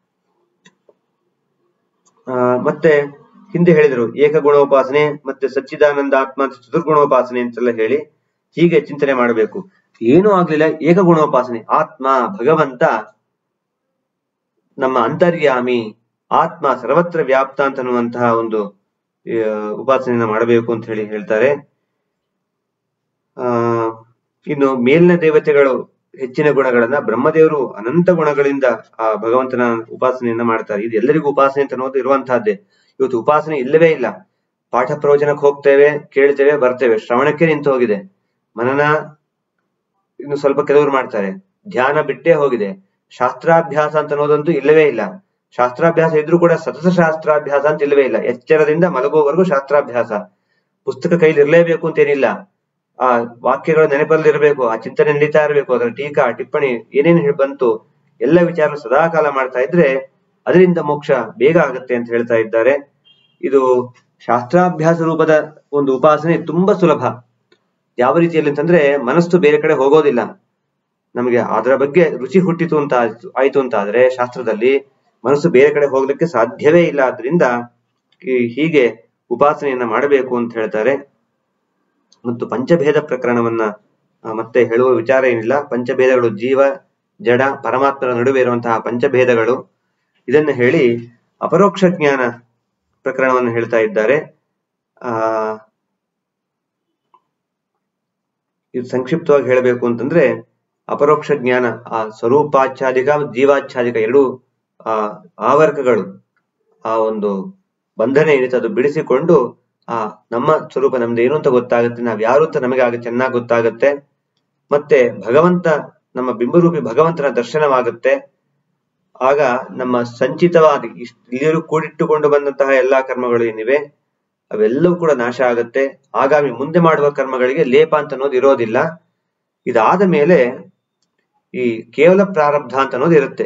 ಪ್ರಾರಬ್ಧ ಕೆಲವರಿಗೆ ಒಂದೇ ಜನ್ಮದಲ್ಲಿ ಮುಗಿಬಹುದು ಆ, ಕೆಲವು ಸಣ್ಣ ಜೀವರಿಗೆ, ಸ್ವಲ್ಪ ಮೇಲಿನವರಿಗೆ ಹೋಗ್ತಾ ಹೋಗ್ತಾ ಹೆಚ್ಚಿನ ಪ್ರಾರಬ್ಧ ಇರುತ್ತೆ. ಬ್ರಹ್ಮದೇವರಿಗಂತೂ ಅತ್ಯಂತ ದೊಡ್ಡ ವಿಸ್ತಾರವಾದ ಪ್ರಾರಬ್ಧ ಅಂತ ಹೇಳಬೇಕು. ಅಂತೂ ಸುಖ ಪ್ರಾರಬ್ಧವೇ ಹೊರತು ದುಃಖ ಪ್ರಾರಬ್ಧ ಅಲ್ಲ. ಅಂತೂ ಎಲ್ಲರೂ ಕೂಡ ಆ ಪ್ರಾರಬ್ಧ ಭೋಗವನ್ನು ಮಾಡಿ ಮುಂದೆ ಮೋಕ್ಷಕ್ಕೆ ಹೋಗ್ತಾರೆ ಅಂತನ್ನುವಂತಹದ್ದನ್ನ ಇಲ್ಲಿ ಕೆಲವು ಹೆಚ್ಚಿನ ವಿಷಯವನ್ನು ಹೇಳಲಿಲ್ಲ ಯಾಕಂದ್ರೆ ಸಮಯದ ಅಭಾವದಿಂದಾಗಿ. ಇನ್ನು ಬಂಧ ಪ್ರಕರಣದಲ್ಲಿ ಬಂಧೋಪಿ ಜೀವಸ್ಯ ಪರಮಾತ್ಮಾಧೀನ.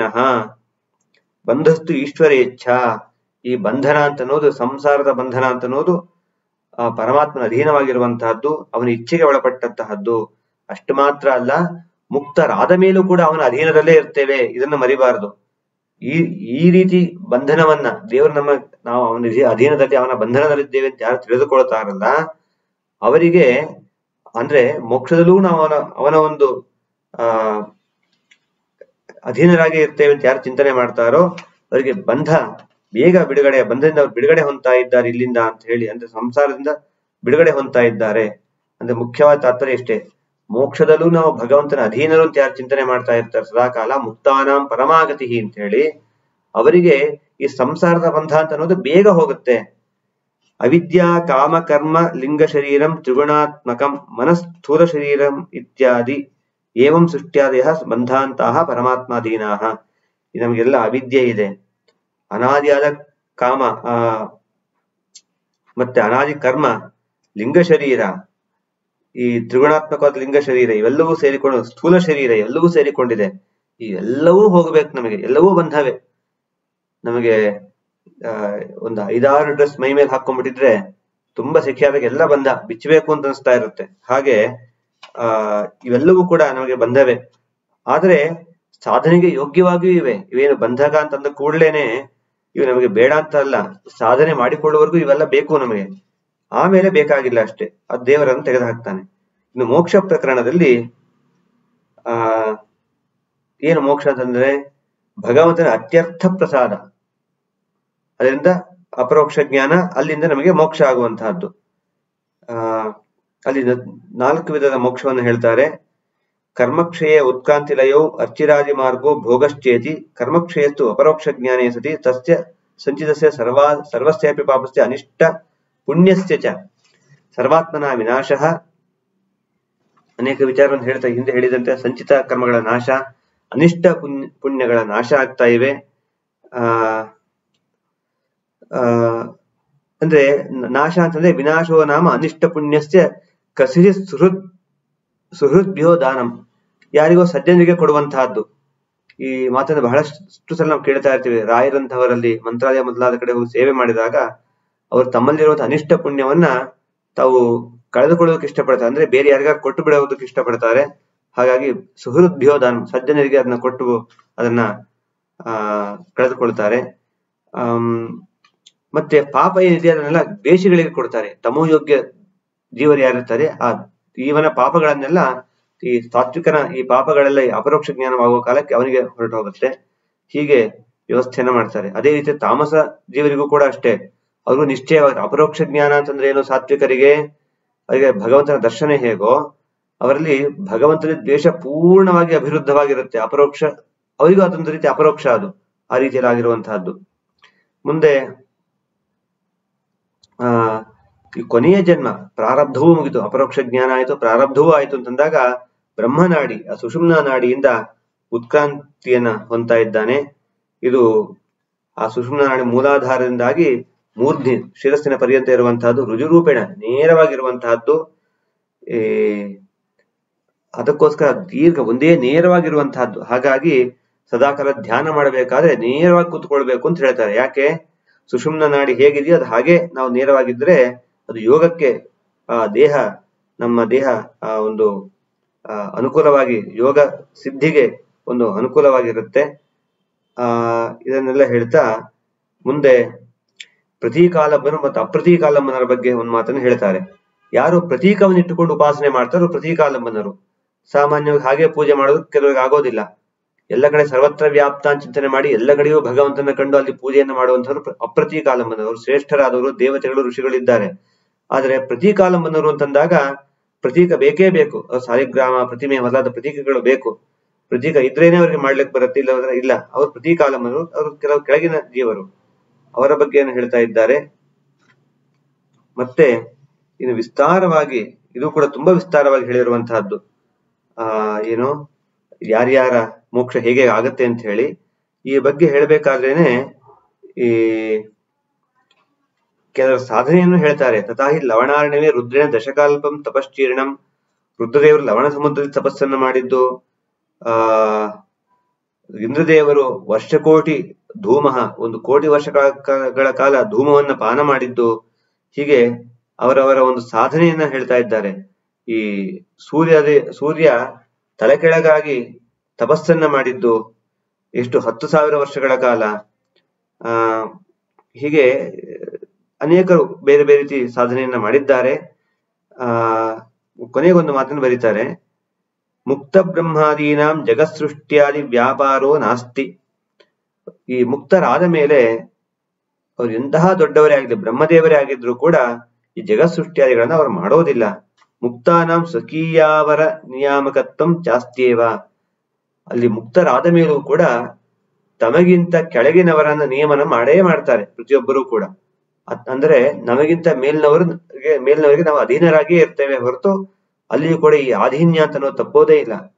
ಕೆಲವರು ಹೇಳ್ತಾರೆ, ಭಗವ, ಮೋಕ್ಷ ಹೊಂದಿದ ಮೇಲೆ ಭಗವಂತನೊಂದಿಗೆ ನಾವು ಎಲ್ಲರೂ ಸಮ.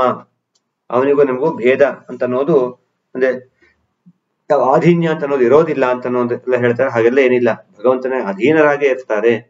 ಪುನಃ ಸಂಸಾರ ನಾವರ್ತಂತೆ ಮುಕ್ತ. ಮುಕ್ತರು ಮತ್ತೆ ಸಂಸಾರಕ್ಕೆ ಬರೋದಿಲ್ಲ.